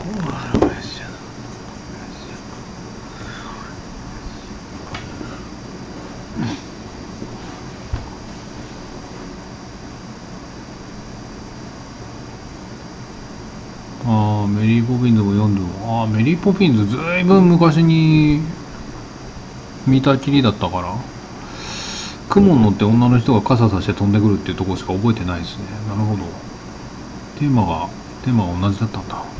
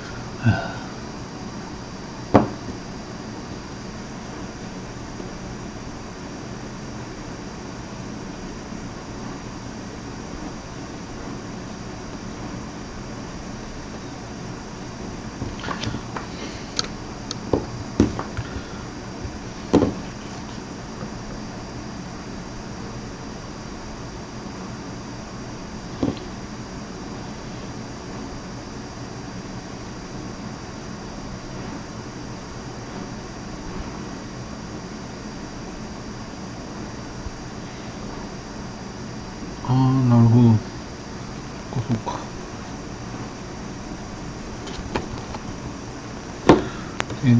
煙突掃除のね煙煙突掃除婦の人が屋上でダンスしたりとかいうところは覚えてるんですけどね。うちのおふくろがあれとサウンドサウンド・オブ・ミュージックが好きで。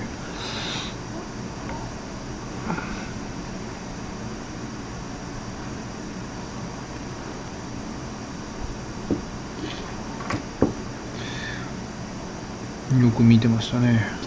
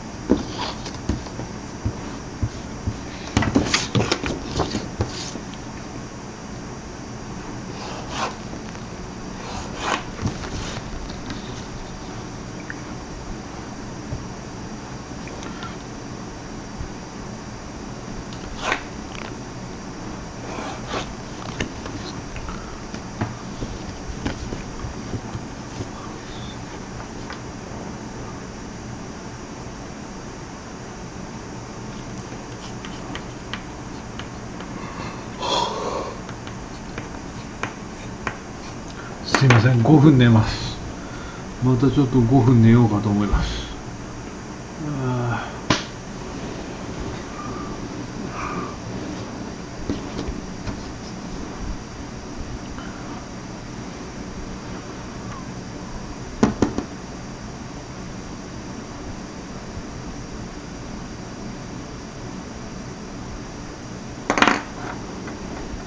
朝になりますねだと。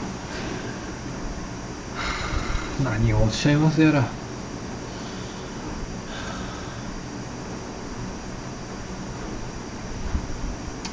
これまでの僕僕とは一味違いますからね。じゃあちょっと5分後にまた会いましょう。ではでは。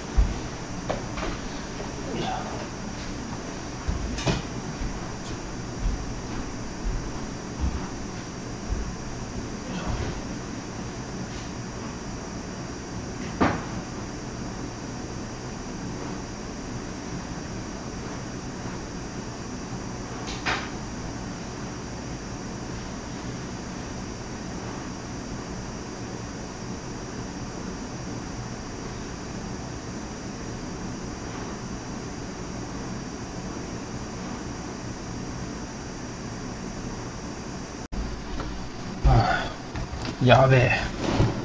おはようございます。やべえ朝までワープしてしまいましたね。5分のはずが。ああやっちゃったあ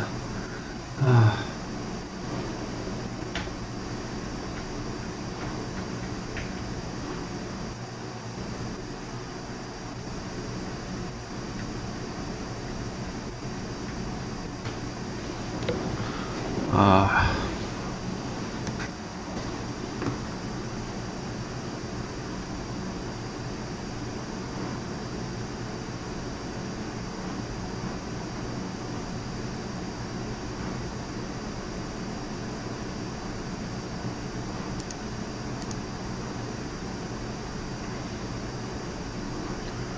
ああ、あ。ああ。やってしまったぜ。おはようございます。5分。は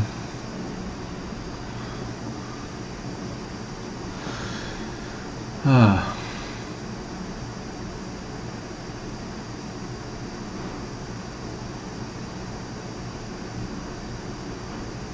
あれ、キャスの方、うん、自動に終わってますね。本当だ。終わっちゃうもんなんだ。うん。あれか。ココインの、コインの問題か。朝ですね。すげえ。5分寝るっつって、目が覚めたら、外が明るい。的なやつですね。えー、おはようございます。 Good morning。うん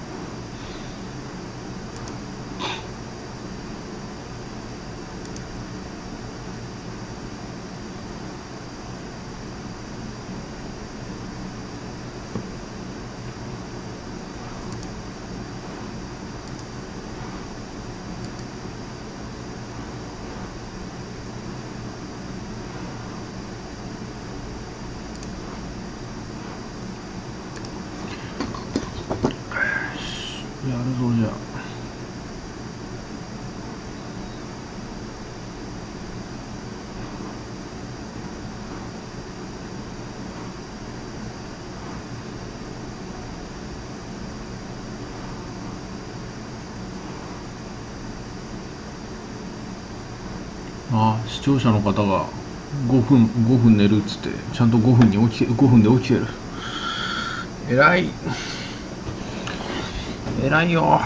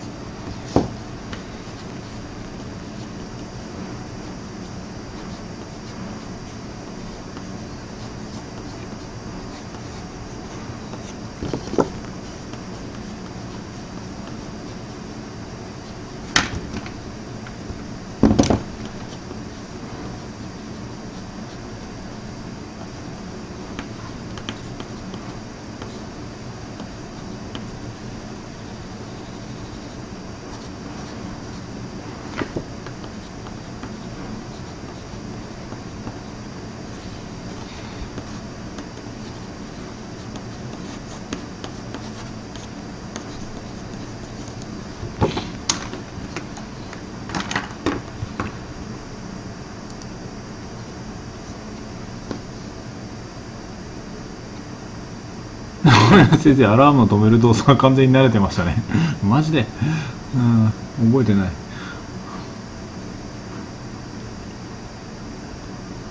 ああキャスは最長延長4時間。ああなるほどな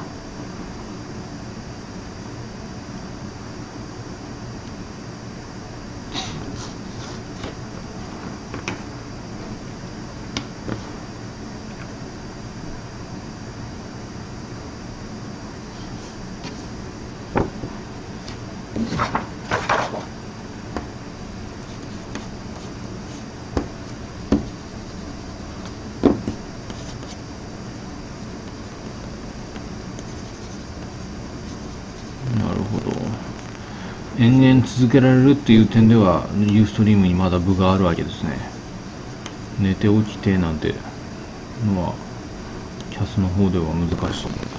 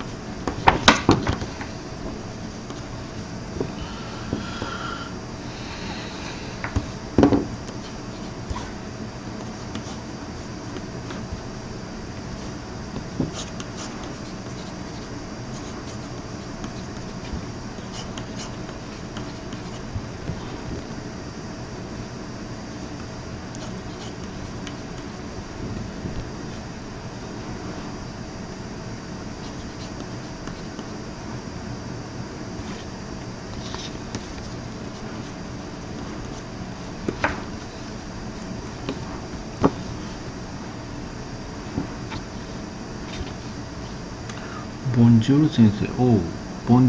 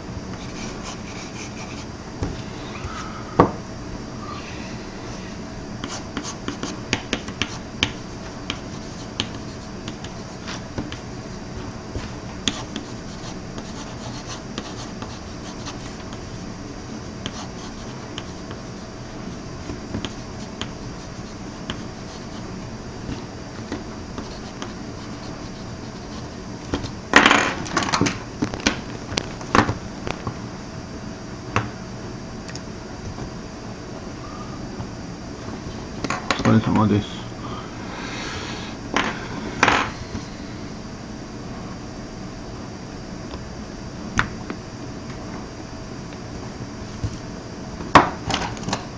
スリープイズグ寝るのはいい。そうですね。手話ワ。I think so.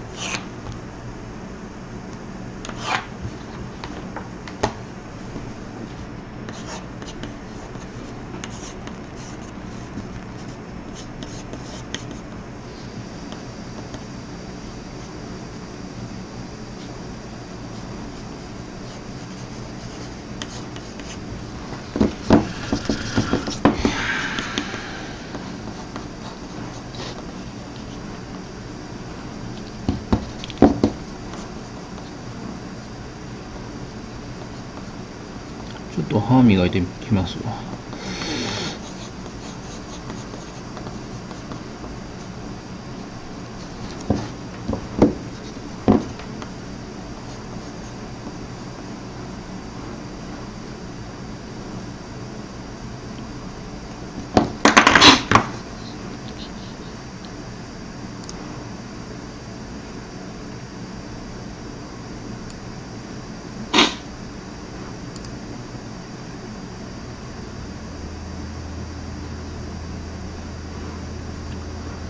どうもおはようございます。今日も皆さん良い一日を。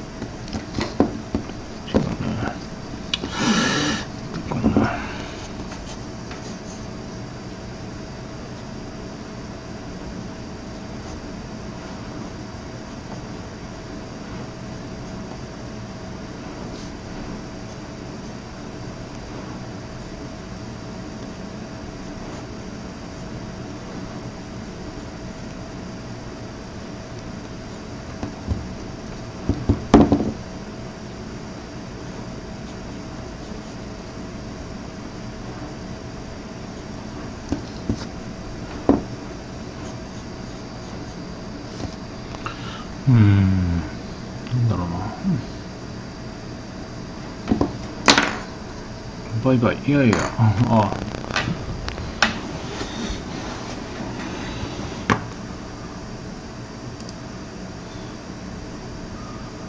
あ。はい。おおお疲れ様です。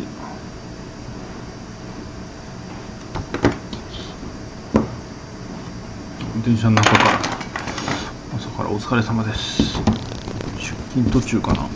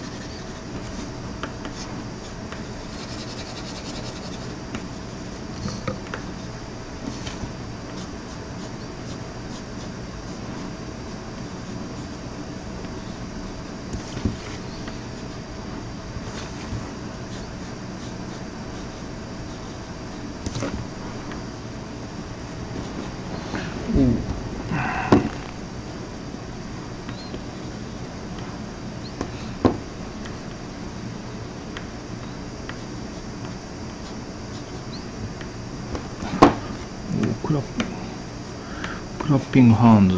Cropping horns.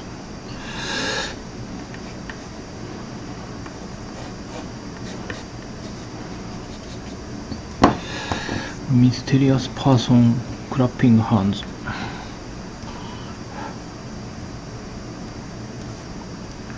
who is he?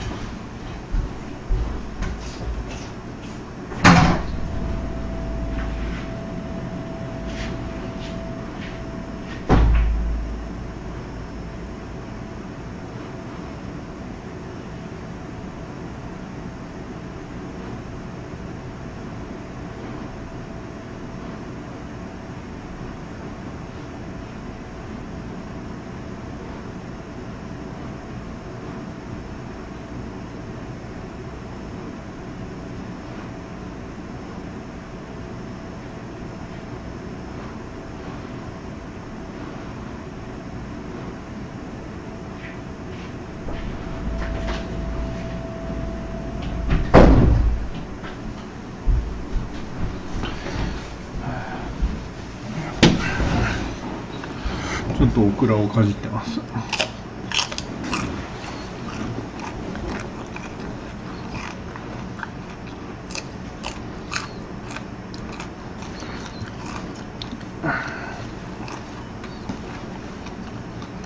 何も口にしないで動動いてるよりは全然こんなんでも朝飯代わりになりますから。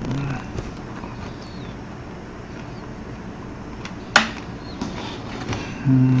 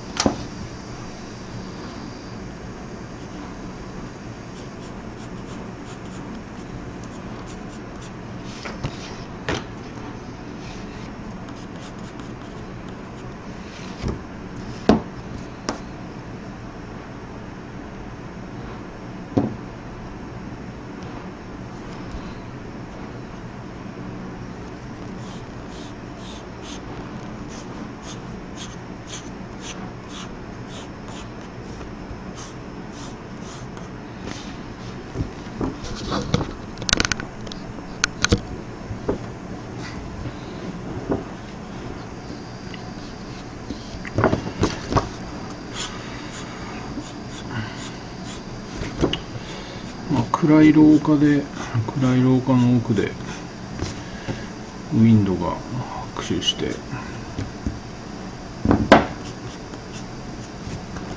でフレームが刀を振ると両脇の松明が順についてくる。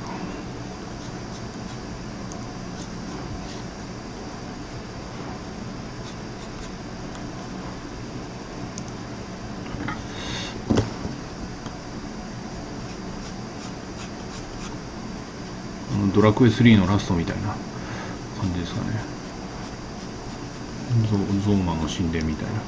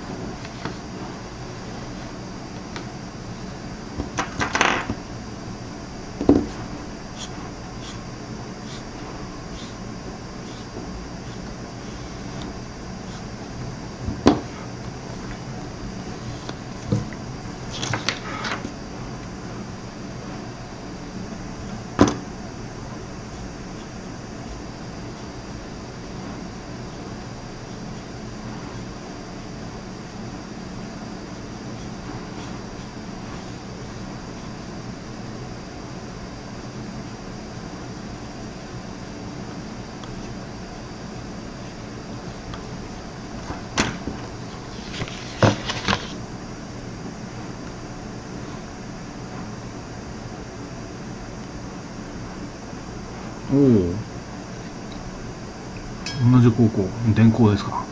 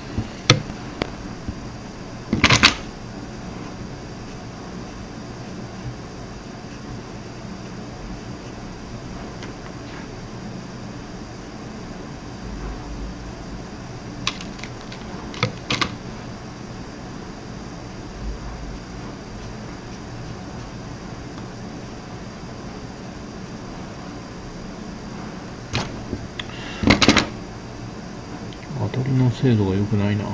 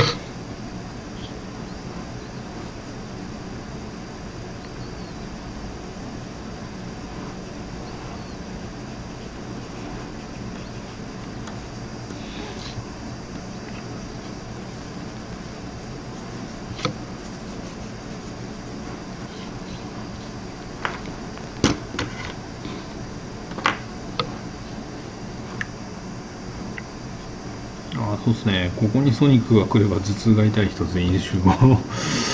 いいですね。頭痛が痛くてお腹も痛い人が 来ればね。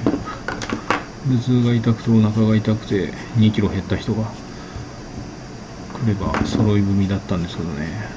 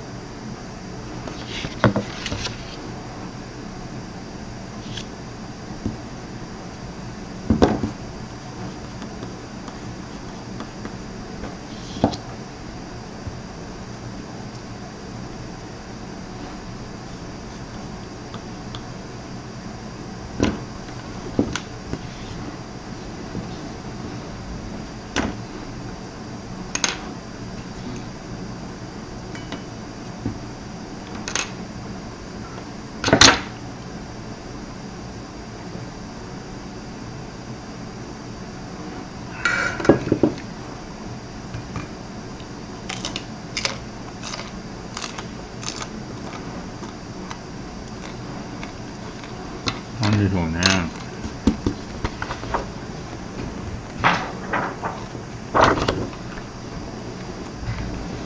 こいつらの災害レベル、いつぐらいなのかな？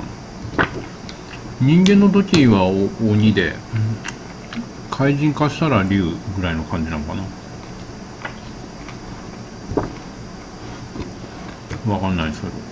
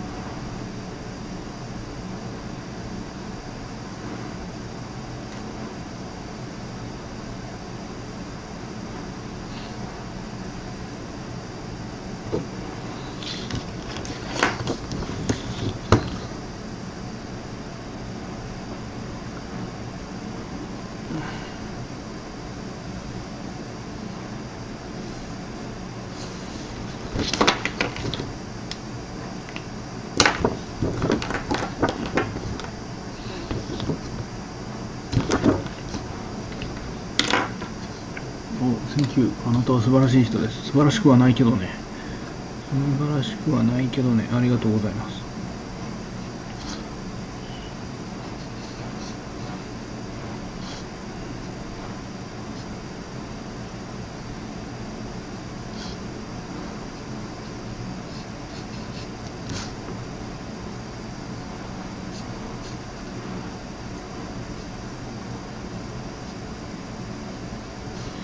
うん。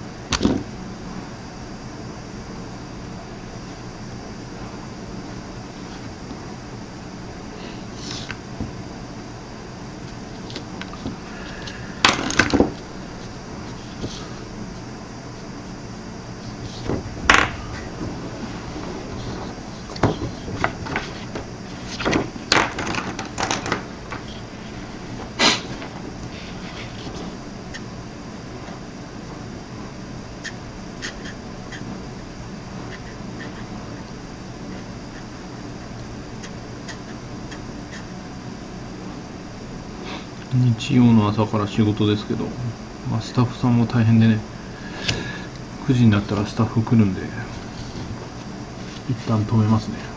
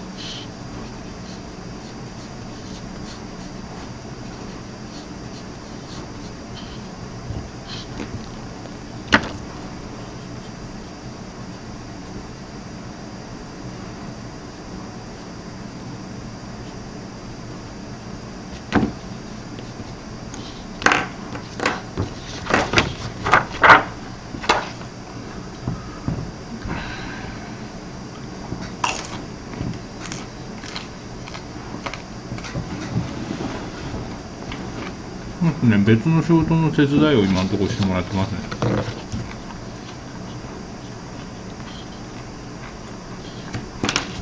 俺一人では手が回らないので。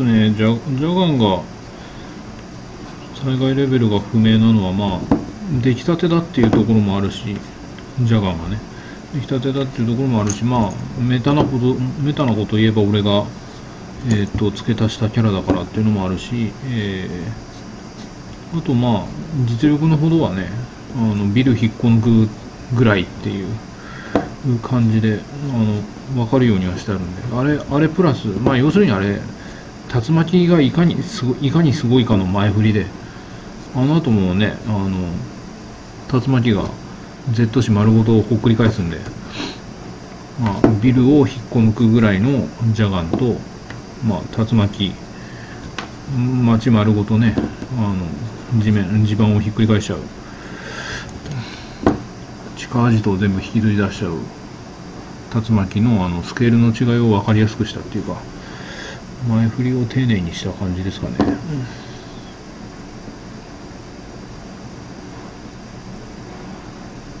うん、いうためのキャラなんでまあ災害レベルはそんなに重要じゃないというか。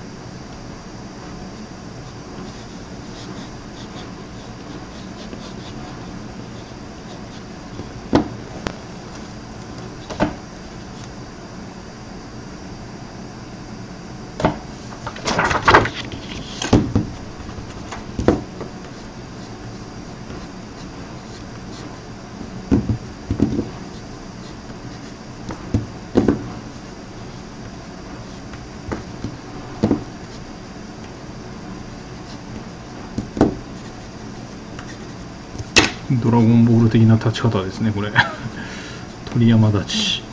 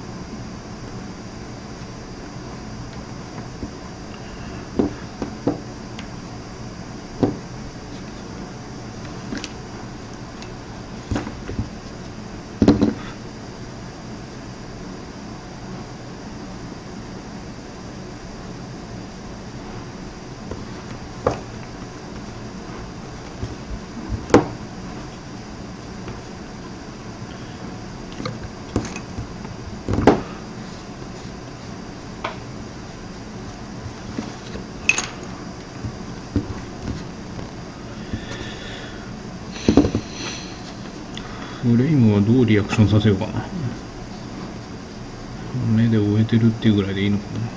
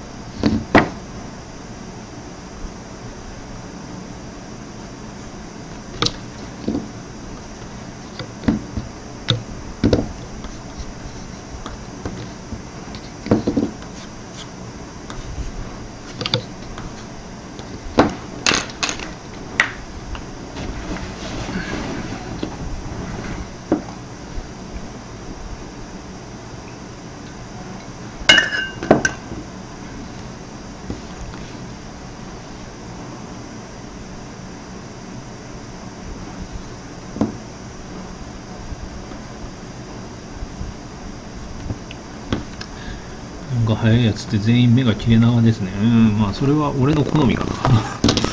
俺の好みが反映されてるだけかも。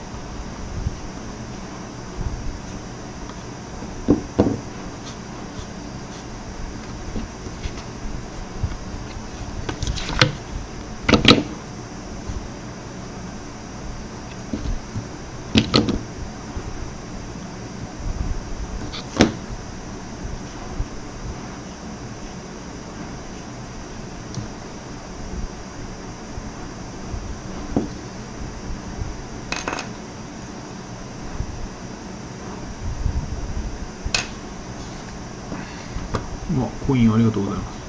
めっちゃめっちゃくれてる。あ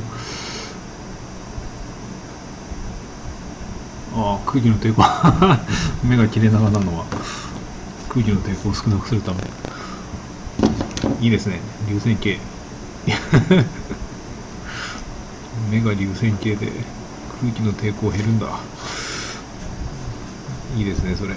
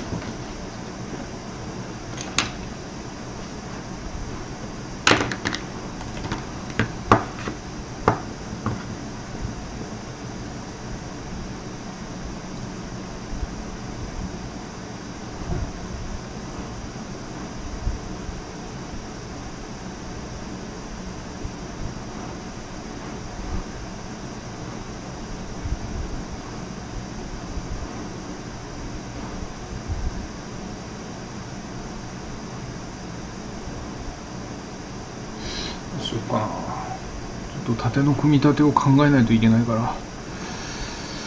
えー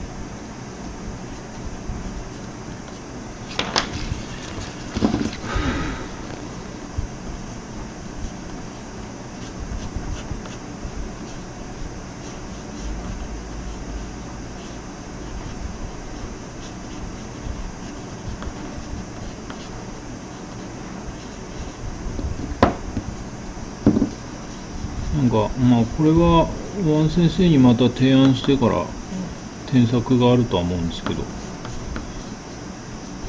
あのー、ウィンドのねウィンドの武器は一応ワイヤーっていう想定でやってたんですけどワン先生からネームが届いたらグルカククリーっていうでかいナイフ どこに隠してんだかわかんないんだけど まあグルカククリが武器になってたんで。一応なんかワイヤーとそのグルカククリのグルカナイフの組み合わせでいこうかと思ってます。でまあウィンドはやっぱり攻撃が見えないのが風だからね。攻撃が見えない方がそれっぽいかなと思うので。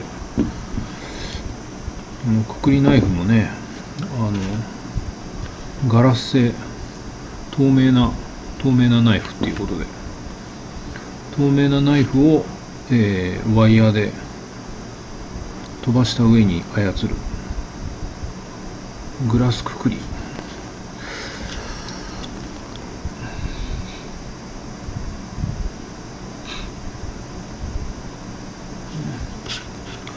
えー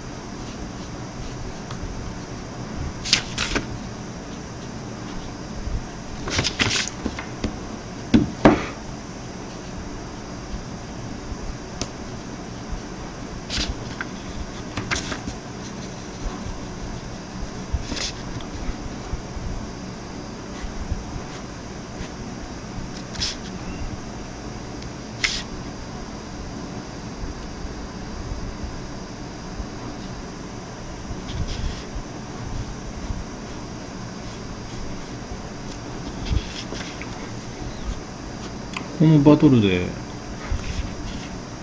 このバトルで、えっと、ウィンドに髪の毛切られて、ちょっとワン先生のバージョンに近づく感じですかね。フラッシュ。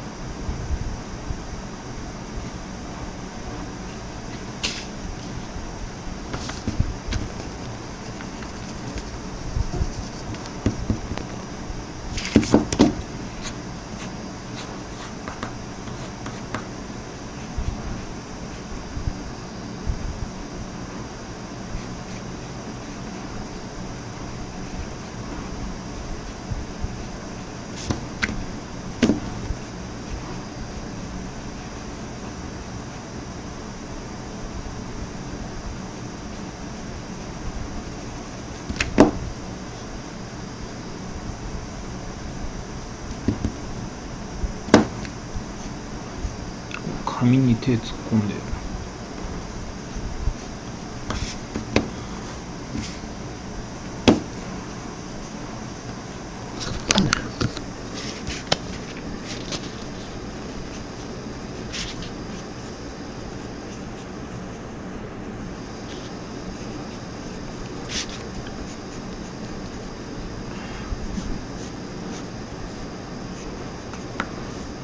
光る光るワイヤーがキーってこう伸びるのがやりたいですよね。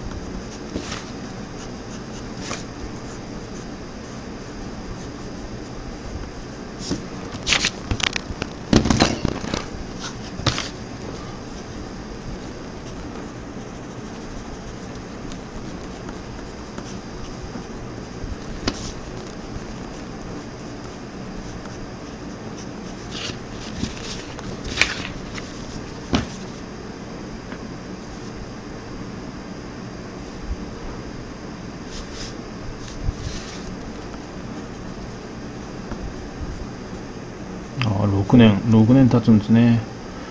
6年経ったけど6年前の俺とは一味違うぜ。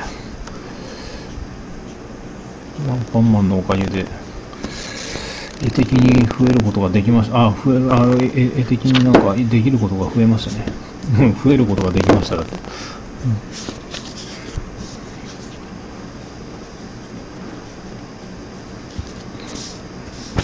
ん、ありがてえ話だ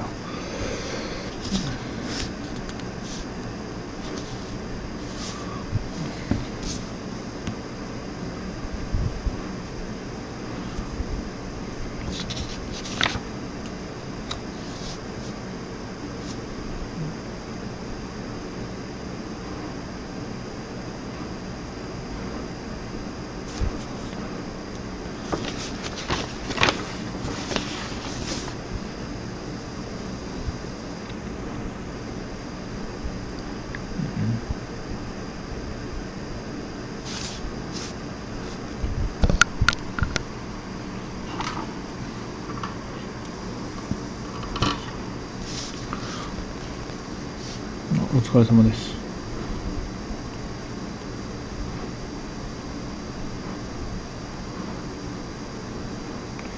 そっかな。フレームの技にもバリエーション欲しいな。なんだろう。刀が燃えてるだけじゃなくてなんかカトンのナルトがあるからな。豪華級の術とかできないしな。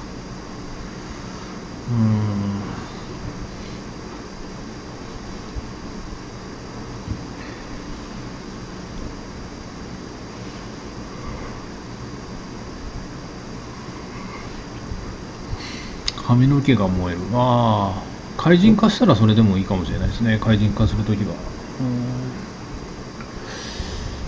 うん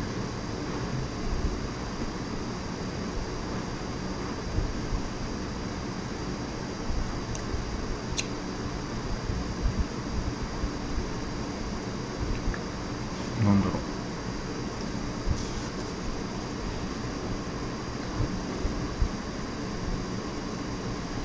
炎が竜、ああ、なるほど。炎が竜か、竜かないかの形になる。ああ、いいですね。いいですね。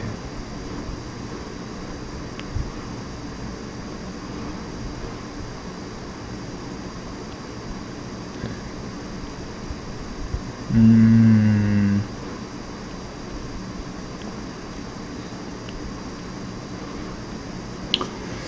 炎、えーっと、炎の、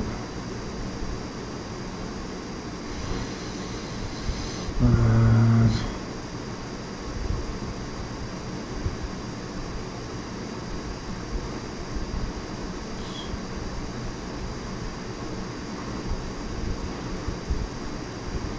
炎っていうとなんかフェニックスを思い連想してしまうんですけどこの直後にフェニックス男出てきちゃいますからね。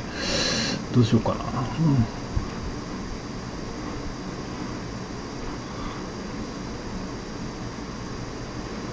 獅子王様みたいな炎の剣。うん。まあ獅子王様みたいな炎の剣が標準装備になっちゃってるんで。えーっとひえー、なんだろうそうですね。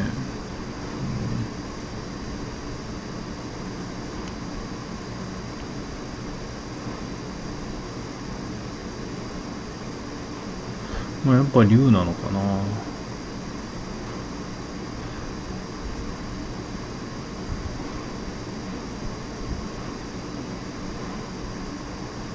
忍者だとガマだとかね。うん。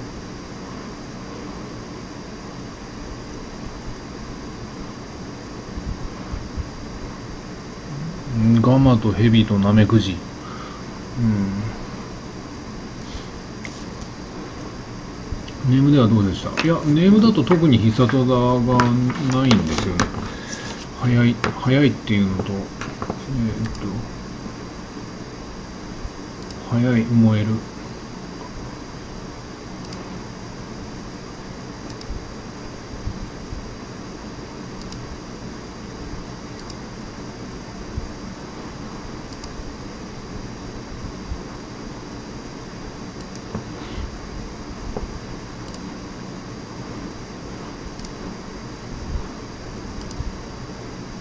うん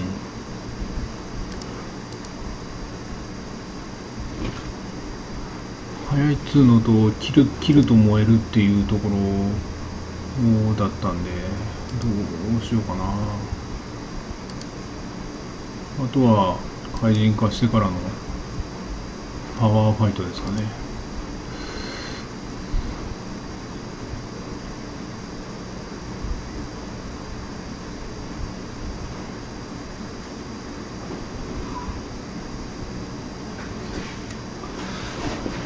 そうですね。早いイメージがやはり強いので。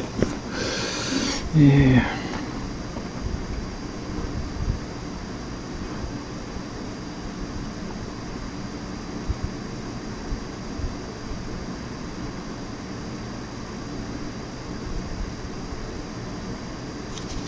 ー、なんだろうな。えーっとどどうしようどうしよう、えー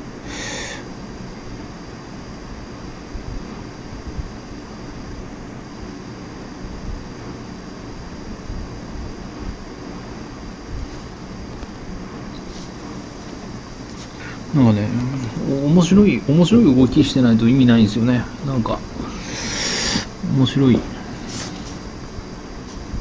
この空間、廊下、廊下という空間を生かした感じで。うん。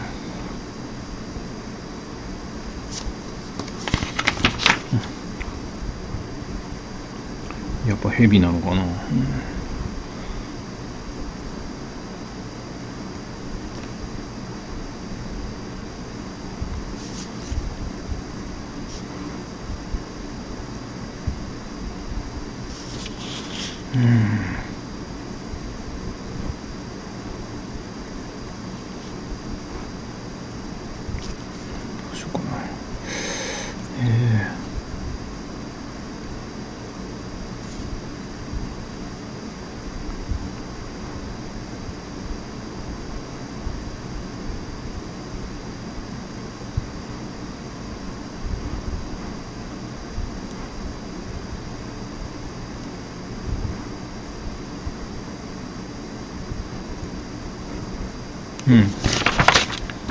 指がとぶろ巻くイメージでどうかね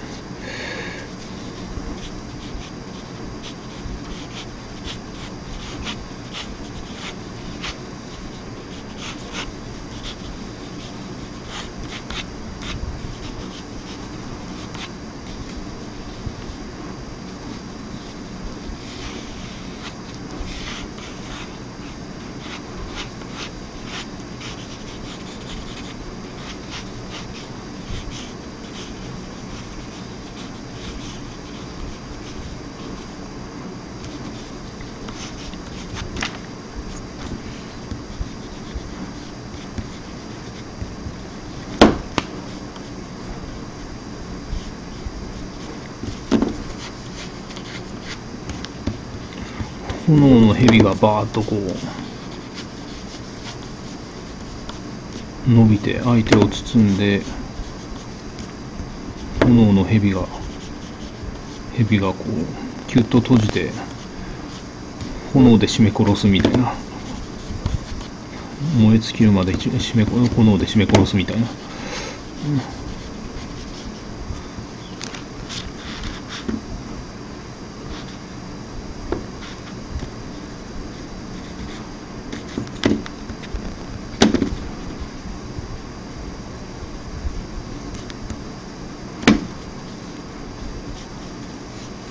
スネックとも被らないし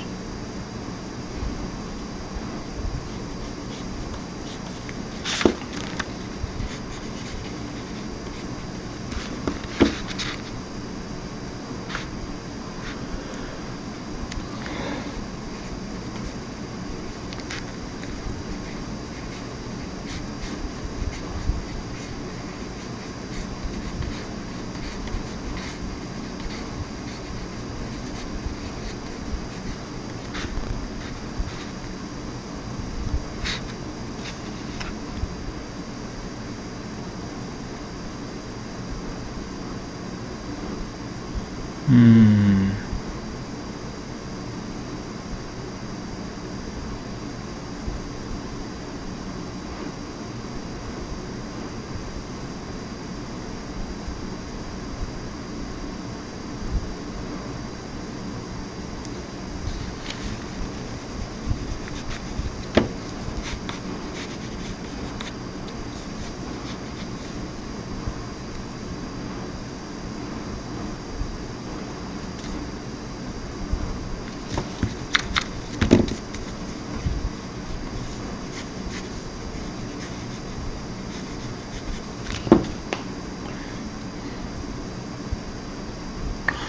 そうですね、ソニックが、あ、ソニックじゃない、えっとフラ、フラッシュが速すぎるから、全体魔法みたいな 全体魔法みたいな術しか使えないよね。え。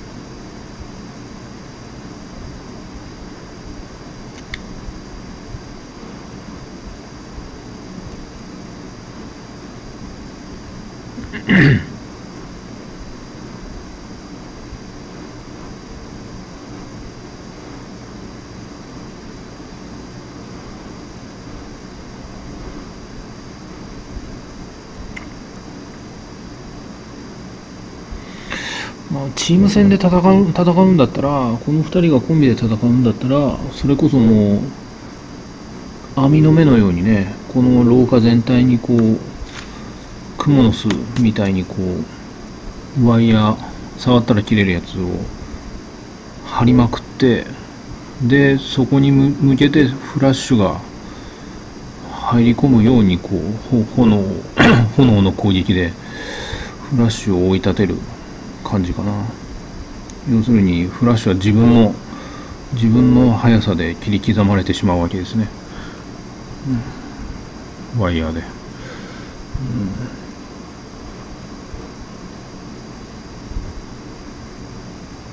うん、う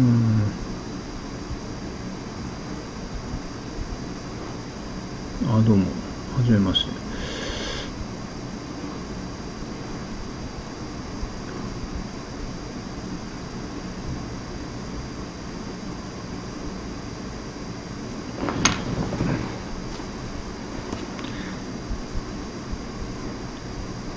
うんつうことであれですね。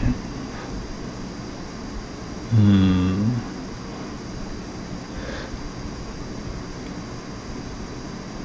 フレームが炎の蛇蛇で、えー、ウィンドは雲みたいなイメージが出来上がりますね、うん、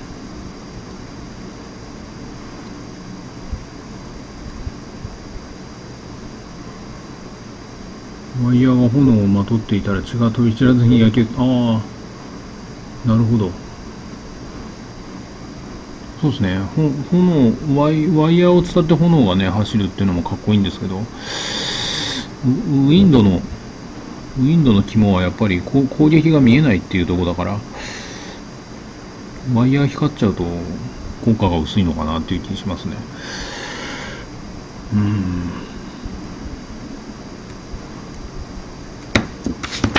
う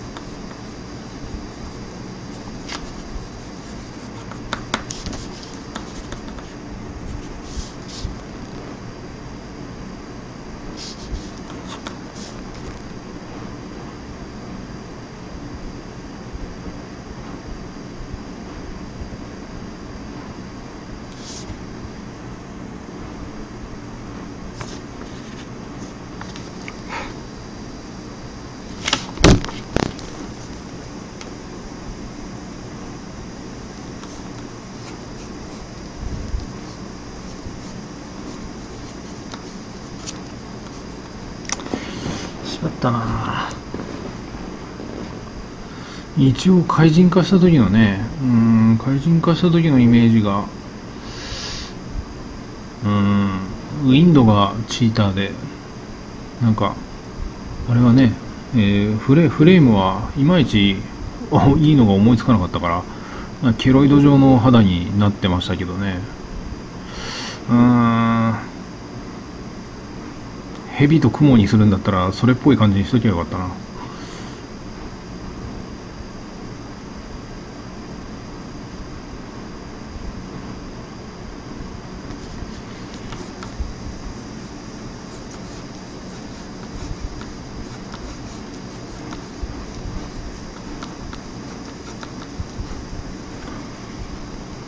うん、蛇だと鱗ですよね。そうだな。あのチーターっぽい感じの模様も女郎雲みたいな感じイメージでいけばなんとか。女郎雲って斑点じゃなくてしましまだもんね。しましまにしときゃよかったな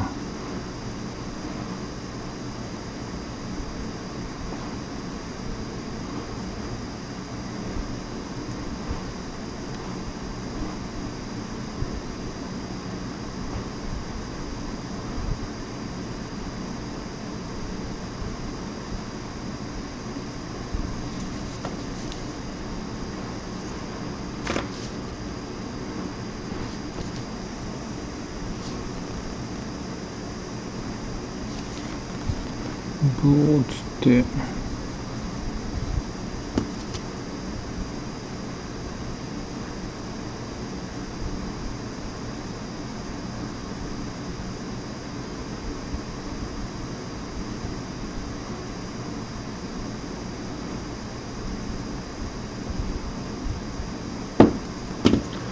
あ怪人フレームはサラマンダー。サラマンダーいいですね。サラマンダーすごくいいんだけどあれか。炎のトカゲですよね。えーっとサラマンダーってそうだよね。サラマンダーって竜竜じゃなくて炎のトカゲだよね。ちょっと待ってくださいね。サラマンダーサラマンダーサラマンダーはグラディウスの続編そっちじゃねえや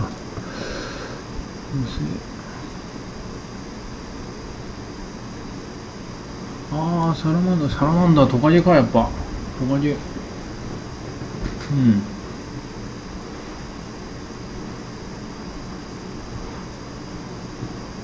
あじゃあじゃあもうあれですね。トカあヘビじゃなくてトカゲにすりゃいいですね。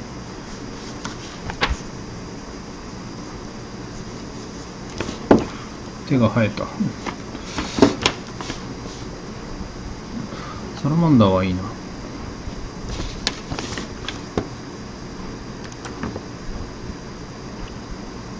えー、サラマンダーは特徴なんかなかったっけ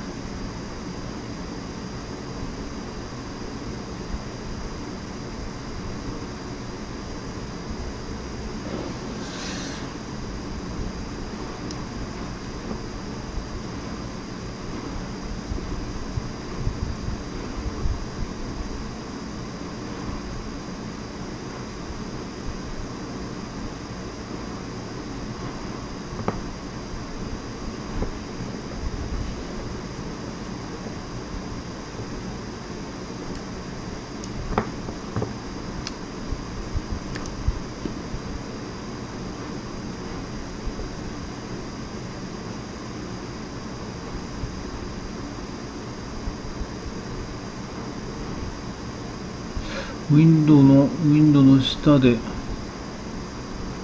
ィンドウの下で捕まったと思ったら残像ですでにウィンドウはウィンドウはやられていてフレームが逃げそこでばったり埼玉と会いフレームがやられて埼玉とああなるほど。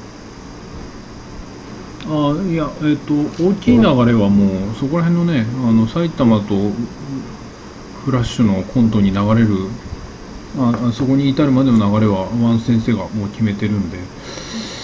まあ盾ですよね。盾をいかに面白く見せるかっていう。脚本じゃなくて演出演出ですかね。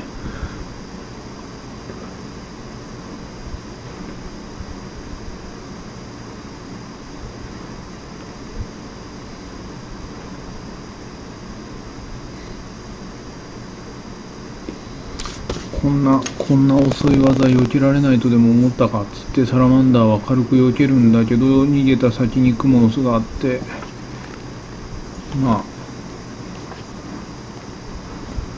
切り刻まれて、まあ、避けろ避けろと。逃げれば逃げるほど切り刻まれるのだみたいな感じがね。ちょっとお腹空いたんで俺ちょっと朝飯買ってきますねで、ちょっと一旦、あもう 9, 9時なんで、あれですわ。ちょ、ちょっと一旦上がりにしますね。ありがとうございます。サラマンダーはいいな。サラマンダーありがとうございました。ナイス、ナイスアイデアでした。